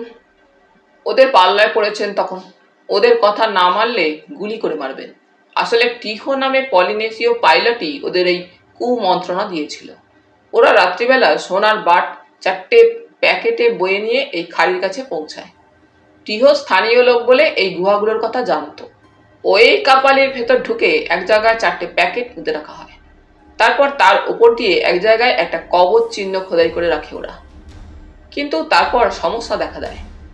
ওপর থেকে খাড়াই বেয়ে নামা যতটা সোজা হয়েছিল, ওঠা ততটাই কঠিন। মারিয়ার পক্ষে ওঠা তো অসম্ভব। কারণ তার পাহাড়ে চড়ার ট্রেনিং নেই। ওরা তিনজনে উঠে যায় একে একে। কিন্তু মারিয়া অনেক চেষ্টা করেও পারেননি। যতবার ওঠেন, গড়াতে গড়াতে এসে নিচের চাতালে পড়েন। প্রচণ্ডভাবে আহত হন। তখন ওপর থেকে ওরা আশ্বাস দিয়ে বলে, শিগগির নৌকা নিয়ে আসবে। মারিয়াকে নিয়ে যাবে। আর আসেনি ওরা। কি হয়েছিল মারিয়া জানেন না। গুহার ধারে জখম অবস্থায় অজ্ঞান হয়ে যান। তারপর যখন জ্ঞান হয়, দেখেন একটা পাদ্রির পোশাক পরা লোক তার শুশ্রূষা করছে। ফাদার গ্রিনকট তার নাম। কিন্তু তখন আর টের পাননি মারিয়া কে এই ফাদার গ্রিনকট। ছত্রিশ বছর ফাদার গ্রিনকটের কাছে বন্দির মতো জীবন কাটাচ্ছেন মারিয়া। এই ছত্রিশ বছরে কয়েকশো মানুষের বুক চিরে হৃৎপিণ্ড বের করার কাজ তাকে দিয়েই করিয়েছে শয়তান গ্রিনকট। কিন্তু সজ্ঞানে নয়। অগ্নিদেবী পিলির পোশাক পরিয়ে সেই রকম সাজিয়ে তাকে গ্রিনকট একটা ওষুধ খাইয়ে দেয়। তখন নেশার ঘোরে জ্যান্ত মানুষের বুক চিরে হৃৎপিণ্ড উপড়ে ফেলেন হতভাগিনী মারিয়া। বুঝতে পারেন না কি সাংঘাতিক পাপ করছেন। নেশা চলে গেলে যখন সব টের পান, নির্জনে হু হু করে কাঁদেন, অনুতাপ করেন। আজ যখন জ্যোৎস্নাকে ধরে আনলো মিনিহুনরা জ্যোৎস্নার মুখের দিকে তাকিয়ে খুব মায়া হয়েছিল মারিয়ার। চালাকি করে ওষুধ মেশানো পানীয়টা নিজের হাতে খাওয়ার ভান করে জামার ভেতর ঢেলে ফেলেছিলেন। আমাকেও যখন ধরে আনে, তখনও ঠিক তাই করেছিলেন। নইলে জ্যোৎস্না ও আমি হৃদয়হীন মরা হয়ে হায়নাদের পেটে চলে যেতাম। পালানোর চেষ্টা। মারিয়ার সঙ্গে জ্যোৎস্না ঠাকমা সম্পর্ক পাতিয়ে ফেলেছে। কথায় কথায় গ্র্যান্ডমা বলে ডাকছে। ঠাকমার ঘরে আধুনিক যুগের আরামে সব রকম ব্যবস্থা আছে। জ্যোৎস্না দেখলাম ইতিমধ্যে ঘরের ভেতর কোথায় কি আছে সব জেনে ফেলেছে। সে কফি বানালো নিজের হাতে, ঠাকমাকেও খাওয়ালো। ঘড়িতে তখন বিকেল চারটে বেজেছে। জ্যোৎস্না আগেই দুপুরের খাওয়াটা খেয়ে নিয়েছে মারিয়ার সঙ্গে। খেয়ে মারিয়া ফাদার গ্রিনকটের আদেশ পালন করতে গিয়েছিলেন, অর্থাৎ কিনা আমার হৃৎপিণ্ড অপরাধে। দু দুটো পলিনেশীয় কলা খেয়ে আমার তখনও পেট ফুলে রয়েছে। অমন সাংঘাতিক ঘটনা ঘটতে যাচ্ছিল। তাতেও কলা দুটো পেটে হজম হয়নি। কি সাংঘাতিক এসব কলা। আমরা তাড়াহুড়ো করছি না। কারণ মারিয়া ঠাকমা বলেছেন, গ্রিন কট কারুর হৃৎপিণ্ড ওপরানোর দিন চব্বিশ ঘণ্টা তার যন্ত্র ঘরে কাটায়। মিনিউনের পাল তার সঙ্গে থাকে। কাজেই সামনের রাতটা পর্যন্ত আমরা নিশ্চিন্ত। কিন্তু তার মধ্যেই আমাদের এখান থেকে পালাতে হবে। ঠান্ডা মাথায় খুঁজে বের করতে হবে বাইরে যাওয়ার পথ। মাঝে মাঝে দমেও যাচ্ছি। ছত্রিশ বছর ধরে মারিয়া যখন বেরোনোর পথ খুঁজে পাননি, তখন মাত্র চোদ্দ ঘণ্টা সময় হাতে নিয়ে আমরা কি পথটা খুঁজে পাবো? জ্যোৎস্না বলল আচ্ছা ঠাকমা, বাইরের লোকেরা হৃৎপিণ্ড কিনতে আসে বললে, তুমি কি লক্ষ্য করনি কোন পথে তারা যায়? মারিয়া বললেন, গ্রিন কার্ড তাদের সঙ্গে করে নিয়ে আসে, সঙ্গে করে নিয়ে যায়। কিন্তু তখন আমার তাদের ধারে কাছে যাওয়ার উপায় থাকে না।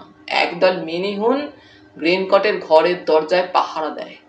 তবে আড়ি পেতে শুনে যা বুঝেছি, মনে হয়েছে যে পূর্ব দিকের কোন একটা হ্রদে তারা মোটর বোট রেখে অপেক্ষা করে। তারপর গ্রিন কট সেখানে হাজির হয়। তাদের চোখ বেঁধে ফেলে মিনিহুনগুলো এই অবস্থায় কোনো সুরঙ্গ পথে এই পাতালপুরিতে নিয়ে আসে। শুনে লাফিয়ে উঠলাম। ঠাকমা, আমি লেকটা দেখেছি। ওই সুরঙ্গ পথেই আমি ঢুকেছিলাম পাতালপুরিতে। মারিয়া বললেন, কিন্তু সেটা খুঁজে বের করতে পারবে কি? বললাম, অগ্নিদেবী পিলির মূর্তি যেখানে আছে, সেখানে আমাকে বন্দি করেছিল মিনিহুনরা মূর্তিটা কোথায় আছে আপনি জানেন? মারিয়া বললেন, জানি, কিন্তু মূর্তির ওধারে অজস্র সুরঙ্গ পথ। আমি সব পথেই বাইরে যাওয়ার চেষ্টা করেছি, কিন্তু ব্যর্থ হয়েছি। বেশিরভাগ সুরঙ্গ পথই হঠাৎ শেষ হয়েছে। কোনোটা শেষে গভীর গর্ত এবং গর্তে জল ফুসছে। আমি স্মরণ করার চেষ্টা করছিলাম। মূর্তি পর্যন্ত আসার সময় কতবার কোন দিকে বাঁক নিয়েছি। বললাম, আর দেরি না করে বড় মূর্তিটার কাছে চলুন। আমার মনে পড়েছে একটা জায়গায় বাঁদিকে ঘুরেছিলাম। বাকিটা সিধে নাক বরাবর এসেছিলাম। চলুন চেষ্টা করে দেখি। জ্যোৎস্না বলল, ঠাকমা যা নেবার গুছিয়ে একটা পোটলা করে নিন। মারিয়া করুণ হেসে বললেন নেবার কিছু নেই। আমার জিনিসপত্র এবং পরিচিতিপত্র আর যা ছিল, সবই সেই প্লেনে রেখে এসেছিলাম। আমি বললাম, একটা আলো টালো থাকলে বড্ড ভালো হতো। মারিয়া বললেন, পাতালপুরীর যেসব আলো দেখছ, তা ফাদার গ্রিন কটের পারমাণবিক শক্তি কেন্দ্র থেকে অদ্ভুত কৌশলে প্রতিফলিত করা হয়েছে এক টুকরো সামুদ্রিক পাথরে। এই পাথর পাতালপুরি যেখানে রাখবে, অদৃশ্য আলো এসে প্রতিফলিত হবে তার উপর। জ্যোৎস্না বলল লোকটা তাহলে প্রতিভাবান বিজ্ঞানী? বললাম, এক টুকরো সেই পাথর পেলে ভালো হতো তাহলে। মারিয়া হাসলেন। পাতালপুরীর বাইরে কিন্তু পাথরের ওপর প্রতিফলন ঘটবে না। কাজেই আমাদের অন্ধকারেই এগোতে হবে। আমরা আর দেরি করলাম না। বেরিয়ে পড়লাম। মারিয়া ঠাকমা এঘর ঘর ও ঘর করে অনেক করিডর পেরিয়ে নিয়ে চললেন। একখানে থমকে দাঁড়িয়ে ফিস ফিস করে বললেন, সাবধান, সামনে যন্ত্র ঘর। তার পাশ দিয়ে যাবার সময় হামাগুড়ি দিয়ে যেতে হবে, কারণ ওটার দেওয়ালের ওপরটা কাঁচের। আমাদের দেখতে পাবে ওরা। আগে মারিয়া, তারপর জ্যোৎস্না শেষে আমি নিঃশব্দে হামাগুড়ি দিলাম। শেষ প্রান্তে গিয়ে হঠাৎ প্রচণ্ড কৌতূহল হলো। ভেতরে কি ঘটছে দেখে নিতে। সাবধানে মুখটা তুললাম। ভেতরে উজ্জ্বল আলো দেখলাম। প্রকাণ্ড হলঘরের একদিকে গোল একটা মঞ্চ। মঞ্চের মিনিহুনেরা ভিড় করে বসে আছে আর মঞ্চটা আস্তে আস্তে ঘুরছে। ওদের ওপর একটা প্রচণ্ড লাল আলো এসে পড়ছে। ওদের লাল দেখাচ্ছে। ওরা যেন ভয়ে জড়সড় হয়ে বসে আছে। সারা ঘরে আজব সব যন্ত্র। বড় বড় কাচের পাত্র কোনোটাতে বাষ্প উঠছে। তারপর দেখতে পেলাম ফাদার গ্রিন কটকে হলুদ রঙের অদ্ভুত একটা পোশাক পরা, লম্বা চওড়া, দৈত্যের মতো এক বুড়ো দাঁড়িয়ে আছে একটা যন্ত্রের সামনে। চাবি টিপছে আর কি সব বলছে। তার মাথায় হলুদ টুপিও আছে। মুখে সাদা গোপদারি কিন্তু কি মিঠে, অমায়িক মুখের ভাব। হাসি লেগেই আছে। জ্যোৎস্নার টানে ঝটপট মাথা নামিয়ে সরে গেলাম। কাচের দেওয়াল শেষ হলে নীল আলোয় ভরা একটা করিডোর দেখা গেল। করিডোর পেরিয়ে ডাইনে একটা ঘরের দরজা ঠেলে ঢুকতেই দেখি সেই ঘর, যেখানে আমাকে মিনিহুনরা ডাব ও কলা খাইয়েছিল। এখনও সেগুলো পড়ে আছে। বুদ্ধি করে কলার কাঁদি দুটো নিলাম। ইশারায় জ্যোৎস্নাকে ডাবের কাঁদিটা নিতে বললাম। মারিয়া ঠাকুমা একটু হাসলেন শুধু। এ ঘর থেকে বেরিয়ে আবার একটা করিডোর। তারপর দরজা খুলতেই দেখি ঘন অন্ধকার সামনে দাঁড়িয়ে আছে। মারিয়া ফিসফিস করে বললেন, বাইরে থেকে এই দরজাটা খোলা যায় না, কিন্তু ভেতর থেকে বেরিয়ে আসা যায়। আমার পকেটে লাইটার আছে, কিন্তু মারিয়া ঠাকমা লাইটার জ্বালাতে নিষেধ করলেন। অন্ধকারে অনেকটা পথ গিয়ে তারপর মারিয়া ফিসফিস করে বললেন, অগ্নিদেবী পিলির মূর্তিটা এখানেই কোথাও আছে। লাইটার জ্বালালাম। সামনে বেদির ওপর সেই হিংস্র দেবী মূর্তি তার চোখ থেকে হিংসা ঠিকরে বেরোচ্ছে। লাইটার নিভিয়ে বললাম, এবার আমি আগে যাব। ঠাকমা, আপনারা আমার পেছনে আসুন। টিহর চেলা তুয়া। প্রায় তিন ঘণ্টা অন্ধকার সুরঙ্গ পথে ঘোরাঘুরি করছি, কিন্তু বেরোবার পথ খুঁজে পাচ্ছি না। ঘড়িতে সাতটা বাজে। বুঝতে পারছি বাইরে অন্ধকার রাত। তাই কোনো ফাটলে বাইরের আকাশ দেখা গেলেও আমরা চিনতে পারব না। বিশেষ করে আকাশে যদি মেঘ থাকে, তাহলেও কি বারো ঘণ্টা আমাদের এখানে কাটানো উচিত হবে? বাইরের পৃথিবীতে আলো ফুটলে কোনো ফাটলে তার আভাস নিশ্চয়ই পাব। কিন্তু ততক্ষণে শয়তান গ্রিন কট কি চুপ করে বসে থাকবে? মারিয়া বললেন, পথ খুঁজে বের করতে না পারলে আমাদের মৃত্যু নিশ্চিত। গ্রিন কট খুব নিষ্ঠুর, সে আমাদের ক্ষমা করবে না। তিনজনের হৃৎপিণ্ড নিজেই ওপরাবে। জ্যোৎস্না বলল, এবার আমি চেষ্টা করি, তোমরা আমার পেছনে এসো। সে সামনে গেল, তারপর পেছনে মারিয়া, শেষে আমি। কয়েক পা গেছি, হঠাৎ আমার ডান হাতের কলার কাঁদিতে হ্যাচকা টান পড়ল, থমকে দাঁড়ালাম, কিন্তু আর কিছু ঘটল না। ভাবলাম, অন্ধকারে পাথরে ধাক্কা লেগেছিল। কিন্তু আবার একটু পরে ফের হাঁচকা টান পড়ল। মুখ দিয়ে বেরিয়ে গেল, আরে আরে, এ কি? মারিয়া জ্যোৎস্না বলে উঠলেন, কি কি? কে কলার কালি ধরে টানলো যেন? পরপর দুবার। জ্যোৎস্না বলল, ভূতে টানছে, অত ভয় যদি ঠাকমাকে পেছনে যেতে দাও। রাগ করে বললাম, ভূত টুত আমি মানি নে, চলো, এবার টান পড়লে দেখছি কি ব্যাপার। আবার কিছু দূর যাওয়ার পর ফের সেই রকম হ্যাচকা টান। সঙ্গে সঙ্গে কাঁতি দুটো নামিয়ে রেখে লাইটার জ্বালালাম। জ্যোৎস্না ও মারিয়া থমকে দাঁড়িয়েছে। আলো ক্রমে প্রায় শেষ হয়ে আসছে লাইটারের মাথায়। তবু দেখতে ভুল হলো না। আমার পিছনে দাঁড়িয়ে একটা মিনি হুন গপ গপ করে কলা গিলছে মারিয়া প্রায় চেঁচিয়ে উঠলেন হঠাৎ। তুয়া তুয়া! জ্যোৎস্না বলল, তুয়া কি ঠাকমা? মারিয়া কান করলেন না জ্যোৎস্নার কথায়।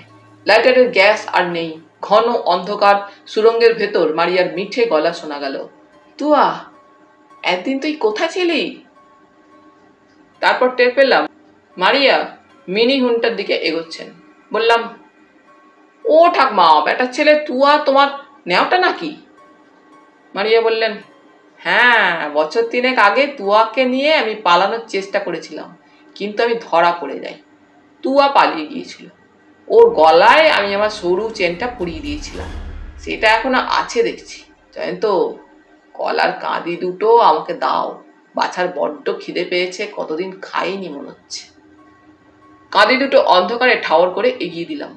তারপর বললাম, ঠাকমা, মনে পড়েছে, টিহোর কাছে যে মিনি গুনটা দেখেছিলাম, তার গলায় এই চেনটাই তাহলে চিকচিক করছিল। টিহোর কাছে? হ্যাঁ ঠাকমা। জ্যোৎস্না বলল, তাহলে বোঝা যাচ্ছে, টিহো প্রায়ই এসব গুহায় এসে সোনার প্যাকেট খুঁজে বের করার চেষ্টা করত। কোনোভাবে তুয়াকে সে দেখতে পায়, সঙ্গে নিয়ে যায়। আমি বললাম, বাকিটা আমিও আজ করতে পেরেছি। আজ সকালে ওই কাপালি গুহার ভেতর গ্রিন কাটের হায়নারা যখন টিহো ও তার সঙ্গীদের খেয়ে ফেলে, তখন তুয়া পালিয়ে প্রাণ বাঁচায়। কিন্তু এখনও পর্যন্ত গুহার সুরঙ্গে সুরঙ্গে ঘুরে বেড়ানোর কারণ কি ওর? মারিয়া বললেন মনে হচ্ছে দলে ফিরে যাওয়ার জন্য কানাচে কানাচে ঘুরছিল, কিন্তু সাহস পাইনি। আহা, বেচারা আজ সারাদিন না খেয়ে আছে। খাও বাছা সবগুলো খেয়ে ফেলো। তারপর ডাবের জল খাবে। জ্যোৎস্না, ডাবগুলো দাও। কিছুক্ষণ পরে তুয়ার খাওয়া দাওয়া হলো। তারপর মারিয়া বললেন, আর ভাবনা নেই, তুয়া আমাদের বাইরে পৌঁছে দেবে। বাচ্চাকে এতটুকুন থেকে আমি লালন পালন করেছি বলতে গেলে। ওর বয়স হলো প্রায় ন বছর। ফাদার গ্রিন কট ওর বাবা মাকে নিয়ে উৎকট পরীক্ষা করতে গিয়ে মেরে ফেলেছিল। ওকে আমি খাইয়ে দাইয়ে বড় করেছিলাম। বললাম, তা যা বলুন ঠাকুমা, আপনার এই শ্রীমান তুয়া বড় নেমো খারাপ। টিহো পোষ মেরেছিল কোন আক্কেলে মারিয়া বললেন, প্রাণের দায়ে জয়ন্ত গ্রিন কটকে মিনিমনরা বেজায় ভয় করে। তাই বলে ও আর ঠ্যাং ধরে টানবে? রাগ দেখিয়ে বললাম, জানেন, কোকো পাম হোটেলে বেটার ছেলে আমার টেবিলের তলায় লুকিয়েছিল। তারপর ঠ্যাং ধরে এমন হ্যাসকা টান মেরেছিল যে আমি চিৎপাত একেবারে। মারিয়া বললেন, চুপ, আর কথা নয়, বাছা তুয়া, এবার চলো আমরা বাইরে যাই। খুড়ো ভাইপোর কীর্তি। সীমান তুয়ার সাহায্যে আমরা প্রাণে বেঁচে ফিরেছি। একটা গোপন পথ আছে কোকো পাম হোটেলের পিছনেই। খাঁড়ির ধার দিয়ে লম্বা চাতাল চলে গেছে মানিনি হলা শুকনো গুহার দিকে। টিহো ও পথেই বরাবর গোপনে গুহাগুলোতে গিয়ে সোনা ধরত। বছর তিনেক আগে তুয়াকে সে না খেয়ে কাহিল অবস্থায় কুড়িয়ে পেয়েছিল একটা গুহার ভেতর। আমরা ফিরেছি সেই গোপন পথে। হ্যাঁ কথাটা টিহোর মুখেই জানতে পারলাম। সে কথা বলছি একটু পরে। ক্ষতবিক্ষত অবস্থায় সে হায়েনার সেন্ট পল হাসপাতালে রয়েছে এখন। বাঁচবে কিনা বলা কঠিন।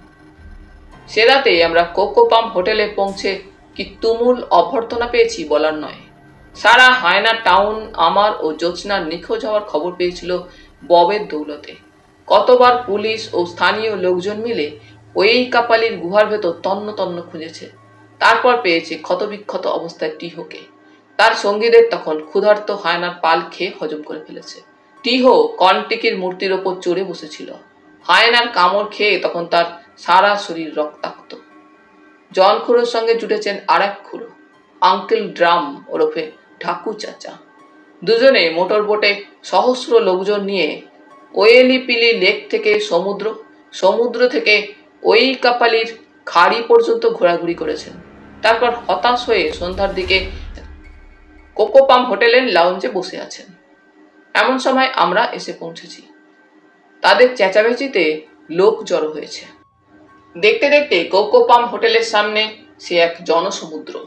মার্কিন দেশ বড় হুজুগে। কত সাংবাদিক, টিভি ক্যামেরার কত প্রশ্ন হুলস্থুল পড়ে গিয়েছিল। পরদিন হাওয়াই দ্বীপপুঞ্জের সব কাগজে তো বটেই। আমেরিকার মূল ভূখণ্ডে বড় বড় কাগজে আমাদের ছবি সহ রোমহর্ষক খবর বেরোলো। টিভিতে সবাই আমাদের দেখল। মারিয়া ঠাকমাকে পরদিন Los Angeles, New York, Washington থেকে প্রকাশকের লোকেরা টেলিফোনে সাদাসাদি শুরু করল। তার ছত্রিশ বছরের গুহা জীবন আর ফাদার গ্রিনকটের কাহিনী নিয়ে তারা বই করতে চায়। লক্ষ লক্ষ ডলারের প্রস্তাব আসছিল। শেষে ঠাকমা হ্যাত্তেরি বলে সবাইকে না করে দিলেন। বই লিখতে হলে নিজেই সময় মতো লিখবেন। এখন তার মাথায় ঘরে ফেরার চিন্তা। রাতে কলকাতায় আমার গুরুদেব কর্নেল নীলাদ্রি সরকারকে ট্রাঙ্ক কল করার চেষ্টা করেছিলাম। লাইন পাইনি। সকালে চেষ্টা করতেই লাইন পেয়ে গেলাম। গম্ভীর গলায় সারা এলো। জয়ন্ত নাকি? রাত দুপুরে ঘুম ভাঙালে কেন? আবার মিনি হন নাকি? রাত দুপুরে কি বলছেন? এখন তো সকাল। ডার্লিং তোমার সময় জ্ঞানের গন্ডগোল আছে বরাবর। হাওয়াই দ্বীপপুঞ্জে যে সূর্যকে দেখতে পাচ্ছ কলকাতায় আসতে তার এখনও প্রায় ঘণ্টা নয়েক দেরি আছে। হ্যাঁ হ্যাঁ তাও তো বটে। যাকে শুনুন ভারী রোমহর্ষক ব্যাপার। আমি তার চেয়ে রোমহর্ষক ব্যাপার ঘটেছে আমার ঘরে।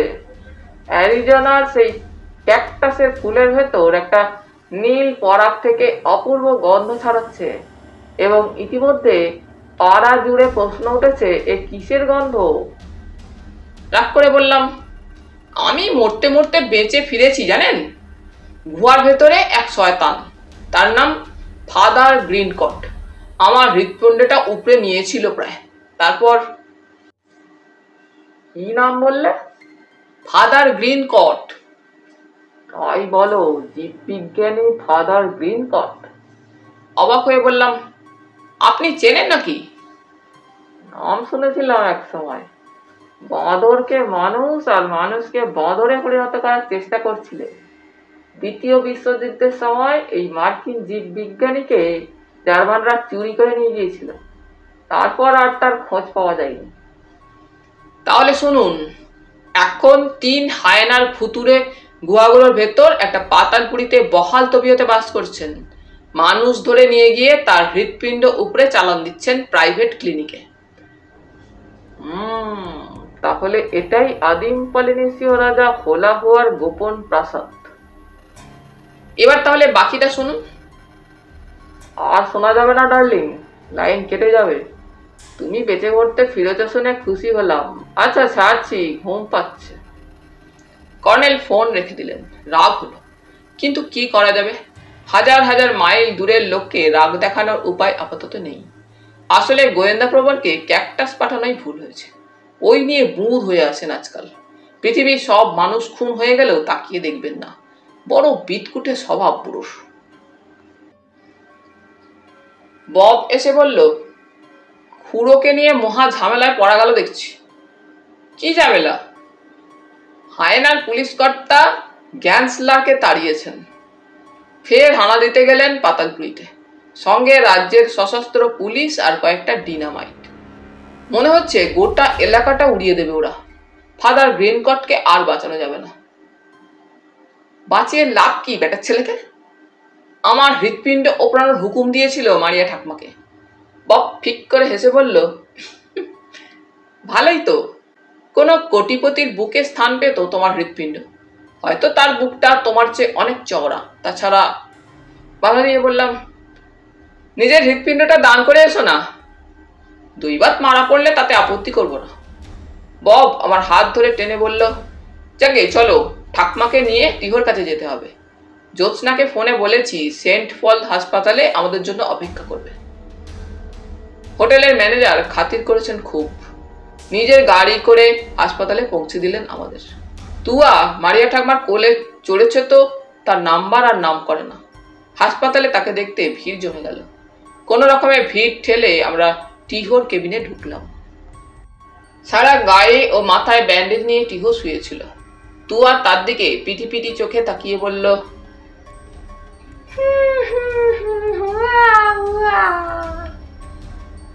টিহো অতি কষ্টে একটু হাসল। তারপর মারিয়ার মুখের দিকে তাকিয়ে রইল। মারিয়া বললেন, কি টিহো চিনতে পারছ না আমাকে? পাপের শাস্তি পেয়েছ। এতেই আমার আনন্দ হচ্ছে। তোমরা এত বিশ্বাসঘাতক আমাকে ছত্রিশ বছর গুহার ভেতর ফেলে রেখে এসেছিল। এবার মনে পড়েছে আমি কে? মারিয়ার চোখে জল। টিহ আসতে বলল, চিনেছি। তুমি মারিয়া, আমাকে ক্ষমা করো মারিয়া। ক্ষমা? মারিয়া ক্ষুব্ধভাবে বললেন অশোবর্ণ আর ওলসন তাদের পাপের শাস্তি পেয়েছে। তুমিও পেয়েছ, তবু তোমাদের ক্ষমা করব না। আমার জীবনটা তোমরা নষ্ট করে দিয়েছ। টিও বলল, কথা বলতে কষ্ট হচ্ছে। তবু বলছি সব। শোনো মারিয়া, আমাদের কোনো দোষ ছিল না। কি হয়েছে সব বলছি, শোন। টিহো যে কাহিনী বলল তা এই। মারিয়াকে উদ্ধারের ইচ্ছা তাদের ছিল। প্লেন থেকে হুক আর দড়ি আনতে গিয়েছিল তারা। কিন্তু তখন যুদ্ধকালীন জরুরি অবস্থা চলছে। ওখানে প্লেন দেখতে পেয়ে একদল সৈন্যের টনক নড়ে। প্লেনটা ঘিরে তারা পরীক্ষা করতে থাকে। এমন সময় এরা তিনজনে সেখানে যেতেই তাদের খপ্পরে পড়ে। পড়ে কোনো কৈফিয়ত তারা বিশ্বাস করে না। টিহোদের গ্রেপ্তার করে নিয়ে যায়। তারপর পার্ল হারবার থেকে খোঁজ নিয়ে তাদের কীর্তি ফাঁস হয়ে যায়। সোনা নিয়ে যাবার কথা কোথায়? আর কোথায় তারা প্লেন নামিয়ে বসে আছে এবং সোনার চিহ্নমাত্র নেই? কোর্ট মার্শালে তিনজনের এক বছর করে জেল হয়। পাছে সোনার হদিস কর্তৃপক্ষ পেয়ে যান, তাই মারিয়ার কথা ওরা বলেনি। এক বছর পরে টিহো জেল থেকে বেরিয়ে অশোবর্ণ আর ওলসনের খোঁজ করে। টিহো ছিল এই হায়েনার জেলে। ওরা দুজন ছিল লস অ্যাঞ্জেলেসের জেলে। সেখানে গিয়ে টিহো জানতে পারে অশোবর্ণ জেল থেকে পালানোর সময় রক্ষীর গুলিতে মারা পড়েছে আর ওলসন মারা পড়েছে ক্যান্সারে। জেল কর্তৃপক্ষকে ওলসন মরার আগে বলে গেছে, তার বন্ধু কাওয়াই দ্বীপের রাজবংশধর টিহোকে যেন এই সিগারেট কেসটা পৌঁছে দেওয়া হয়। সিগারেট কেসে লুকানো সোনার সঠিক জায়গা নির্দেশ করা ছিল। টিহো একা গুহার ভেতর ঢুকতে সাহস পায়নি। পলিনেশীয়দের কুসংস্কার তার মধ্যে ছিল। তাই সে একজন সঙ্গী খুঁজছিল। যুদ্ধের সময় আর এক পাইলটের সঙ্গে তার বন্ধুতা ছিল। তার নাম ফস্টার। তাকে সে বিশ্বাস করে সোনার কথা বলে। দুজনে গুহায় ঢুকে সোনার প্যাকেটগুলো আনার পরিকল্পনা করে। কিন্তু লোভি ফরস্টার রাতারাতি সিগারেট কেসটা চুরি করে কেটে পড়ে। ওতে পলিনেশীয় আদিম ভাষায় সঠিক জায়গার হদিস লেখা আছে। ওই হদিস না পেলে টিহোর পক্ষেও সোনা খুঁজে বের করা সম্ভব নয়। টিহোর বোকামি হয়েছিল যদি একটা কপি রাখত লেখাগুলোর, তাহলে সোনাটা খুঁজে বের করতে পারত। আর কাউকে সঙ্গে নিত বরং। একা সে কিছুতেই তার পূর্বপুরুষের পাতালপুরিতে ঢুকে অভিশাপের পাল্লায় পড়তে রাজি নয়। টিও বুঝতে পারে না, ফস্টারের কাছে সিগারেট কেস ছিল। তা কেমন করে সুদূর পশ্চিমবঙ্গের গ্রামের মাঠে মাটির তলায় গেল? সে আমার দিকে তাকিয়ে সেই প্রশ্নটা করল। আমি বললাম, আমার ধারণা ফস্টার ভেবেছিল সুযোগ মতো একা গিয়ে সোনা উদ্ধার করবে। সেই সময় তাকে ভারতে পাঠানো হয়। তার প্লেন দৈবাত ভেঙে পড়েছিল আমাদের গ্রামের সেই সামরিক বিমান ঘাঁটিতে। টিহো বলল, এতকাল পরে আপনার হাতে একটা সিগারেট কেস দেখলাম। তাতে আমাদের পবিত্র রাজবংশের চিহ্ন। অমনি টের পেলাম তাহলে এই সেই সিগারেট কেস। কিন্তু ওটা চুরি করে দেখি ভেতরে অনেক লেখা অস্পষ্ট এবং মুছে গেছে। কাজেই ওটা পেয়েও খুব একটা সুবিধে হলো না। তবু ভাবলুম যেটুকু পারা যাচ্ছে, তারই সূত্র ধরে খুঁজলে যদি সোনাটা পাই। কিন্তু আমার দুর্ভাগ্য। কোথায় লুকিয়েছিল হিংস্র হায়ানার পাল? তারা আমাদের আক্রমণ করল। অনেকক্ষণ কথা বলে টিহো ক্লান্ত হয়ে পড়েছিল।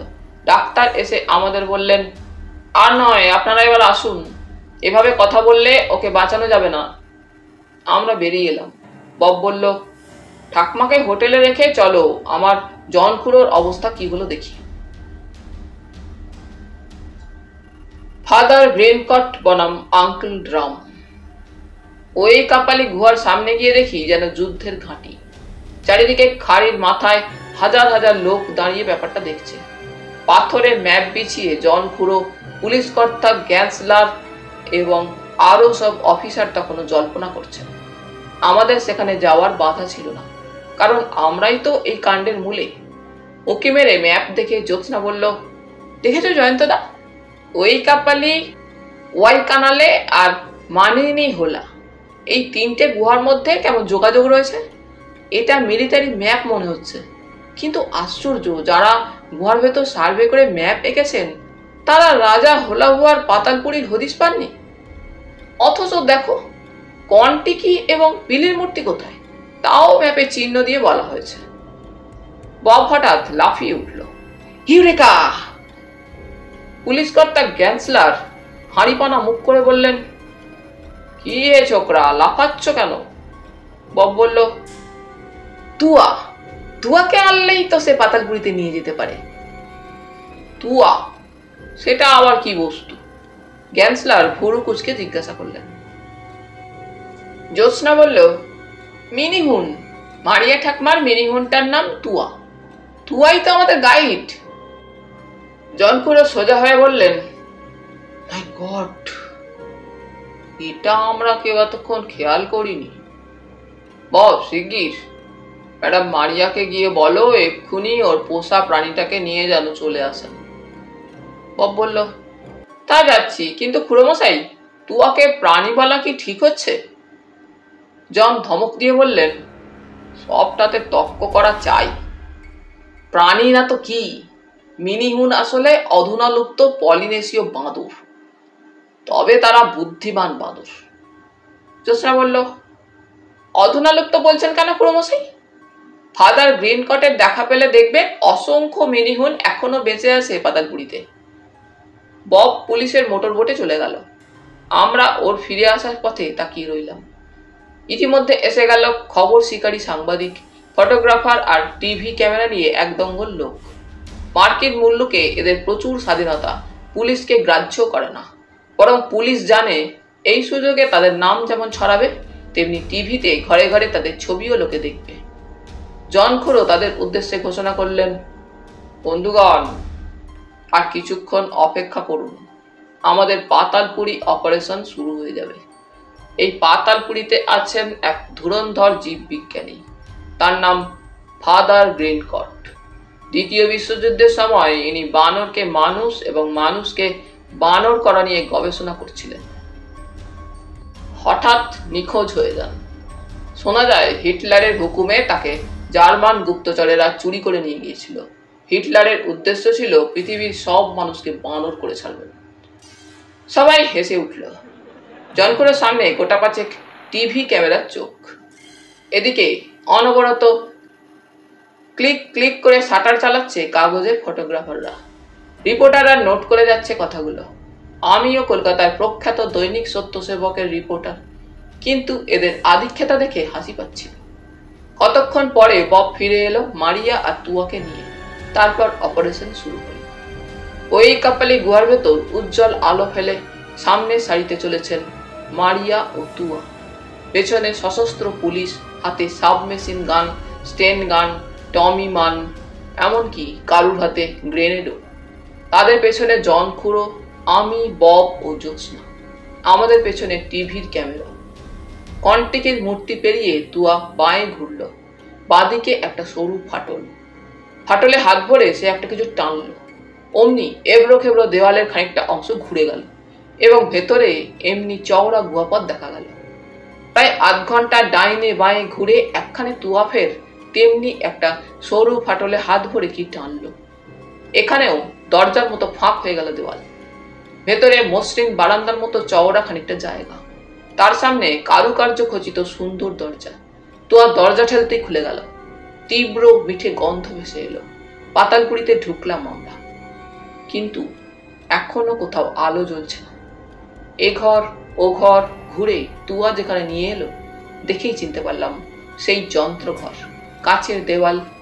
কিন্তু কোথায় ফাদার গ্রিনকট? কোথায় তার মিনিহুনের দল? কোথায় বা সেই সব হিংস্র হায়নার পাল? হোলাভোয়ার পাতালপুরি স্তব্ধ, নির্জন। যন্ত্রঘরে যন্ত্রগুলো আছে, কিন্তু বড় বড় কাঁচের পাত্র থেকে বাষ্প উঠছে না, কোনো আলোও জ্বলছে না। তারপর তুয়ার আর্তনাদ শুনতে পেলাম। তুয়া সেই গোলাকার মঞ্চের সামনে দাঁড়িয়ে বোবা মানুষের মতো গলার ভেতর শব্দ করছে, কান্নার মতো শব্দ। মঞ্চে একটা কালো ছাইয়ের বিরাট স্তূপ দেখা যাচ্ছে। মারিয়া চেঁচিয়ে উঠলেন, সর্বনাশ! শয়তানটা ওদের পারমাণবিক আগুনে পুড়িয়ে ছাই করে দিয়েছে। জন বললেন, কাদের? মিনিগুনদের? মারিয়া কান্না জড়ানো গলায় বললেন হ্যাঁ শয়তান গ্রিন কট ওদের পুড়িয়ে মেরে পালিয়েছে। তুয়া তুয়া, কোথায় গেল গ্রিন কট? খুঁজে বের করতেই হবে তোকে। প্রতিশোধ নিতে হবে, বাছা। তুয়া অমনি চলতে শুরু করল। তাকে অনুসরণ করলাম আমরা। হায়নার খাঁচার পাশ দিয়ে যাবার সময় একই দৃশ্য দেখলাম। পলিনেশীয় এক বিচিত্র প্রজাতির হায়নাদেরও সে পুড়িয়ে ছাই করে দিয়েছে। এ কি জীববিজ্ঞানের প্রতিহিংসা? এবার অগ্নিদেবী পিলির মূর্তি সামনে পড়ল। তার ডাইনে সরু একটা গুহাপথ দিয়ে এগিয়ে বাইরের রোদ্দুর দেখা গেল। তুয়া একটা ফাটল বেয়ে নামতে শুরু করল। পিঁপড়ে সার যেমন করে নামে, তেমনি করে আমরা, পুলিশ বাহিনী, সাংবাদিকরা টিভির লোকেরা নেমে গিয়ে মোটামুটি একটা সমতল, বিশাল চাতাল মতো জায়গায় পৌঁছালাম। হঠাৎ জ্যোৎস্না চেঁচিয়ে উঠল। ও কি বাবার সঙ্গে গ্রেট কট মারামারি করছে যে। চাতালের আন্দাজ কুড়ি ফুট নিচে হ্রদের ধারে খানিকটা জায়গায় বালির বীজ। তার উপর দাঁড়িয়ে প্রচণ্ড বিক্রমে লড়ে যাচ্ছেন আঙ্কেল ড্রাম এবং ফাদার গ্রেট কট। জ্যোৎস্না লাভ দিয়ে যাচ্ছিল। তাকে ধরে আটকালাম। কিন্তু সেই মুহূর্তে তুয়া ঝাঁপ দিয়ে পড়েছে গ্রিন কটের ওপর ঢাকু চাচা ওপর দিকে তাকিয়ে আমাদের দেখে বিরাট হাসি হাসলেন। ঢাকের মতো গম গম করে বললে হো মন্দিরে ধরেছিলাম। এ বান্দরটা না এলে ওরে ডুবাইয়া ছাড়তাম ঠান্ডা পানিতে। হ, আমার নাম ঠাকু মিয়া। আমার চেনে নাই মন্দির পোলা। হাসবো কি? তুয়া যা করল দেখে স্তম্ভিত হয়ে গেলাম। সেই সরু লিকলিকে হাতে গ্রিন কটের গলা টিপে ধরে হ্যাঁচকা টানে ছুঁড়ে ফেলল হ্রদের জল। তারপর জলের ভেতর হুলুস্থুল শুরু হয়ে গেল। একবারের জন্য ফাদার গ্রিন কটের পা দুটো ধরা গেল। তারপর তলিয়ে গেল চিরকালের মতো। ঠাকুর চাচা দেখতে দেখতে বললেন, হাঙরের পাল মন্দিরে লইয়া গেল। যাউক। পদ্মার ইলিশ। পলিনেশীয় রাজা হোলাবু আর পাতালপুরি এতদিনে আবিষ্কৃত হয়েছে। হায়না টাউনে এবার পর্যটকদের ভিড় বেড়ে যাবে। ওদিকে জনখোরও দ্বিতীয় দফা অভিযান চালিয়ে সোনাগুলো উদ্ধার করেছেন। সরকারি কোষাগারে সেটা জমা পড়েছে। হাওয়াই দ্বীপপুঞ্জের অধিবাসীদের দাবি, এই সোনার দামে দ্বীপগুলোকে স্বর্গ বানাতে হবে। মারিয়া তুয়াকে নিয়ে স্যাক্রামেন্টোতে তার বাড়ি ফিরে গেছেন। আমি ও বব চাচার রেস্তোরাঁর ডিনার খাওয়ার নেমন্তন্ন পেয়েছিলাম। জ্যোৎস্না বলল বব তোমার জন্য ঝাল কম দিয়েছি, কিন্তু আমাদের দেশের নদী পদ্মার ইলিশ। একটু ঝাল না হলে ভালো লাগে না। বব বলল আই উইল ট্রাই তারপর একটু চেখেই ও ও ফাদার গ্রিন কট বলে আর্তনাদ করল। চাচা এসে বলল, কে? পোলাটা চিল্লায় কেন? ও বুঝেছি। গ্রিন কার্ড কাইল না? তবে শোনেন চাচা তার দেশওয়ালি ভাষায় এবং ববের জন্য তার নিজস্ব ইংরেজিতে অনুবাদ করে যা বললেন তা হলো, সবাই যখন সামনের দিকে ফাদার গ্রিনকটকে ধরবে বলে তোড়জোড় করছে, তখন উনি পেছনের দিকে ওত পেতে বসাই ঠিক মনে করেছিলেন। মোটর বোট থেকে মানিনি হোলা, গুহার খোঁজে ওপরে উঠতে যাচ্ছেন। হঠাৎ ফাদার গ্রিনকট তার সামনে এসে পড়েছেন। হাব ভাব দেখে চাচা তক্ষুনি টের পেয়েছেন, এই সেই হুমুন্দি। অমনি জাপটে ধরেছেন তাকে। বব ঝোল মুছে ইলিশ চুষতে চুষতে বলল fine fish but not better than sardine চাচা বললেন, বান্দরটা গ্রিন কটের না ধরলে আমি ধরতাম আর করতাম কি জানেন? অষ্টমান লঙ্কা বাইকটা এই ঝোলে ডুবাইতাম তাহলে বন্ধুরা, আজ এই পর্যন্তই। গল্প পাঠ তোমাদের ভালো লেগে থাকলে তোমাদের কাছে আবারও অনুরোধ থাকল, লাইক, শেয়ার এবং সাবস্ক্রাইব করে তোমাদের মূল্যবান মতামত পাঠানোর জন্য। ধন্যবাদ।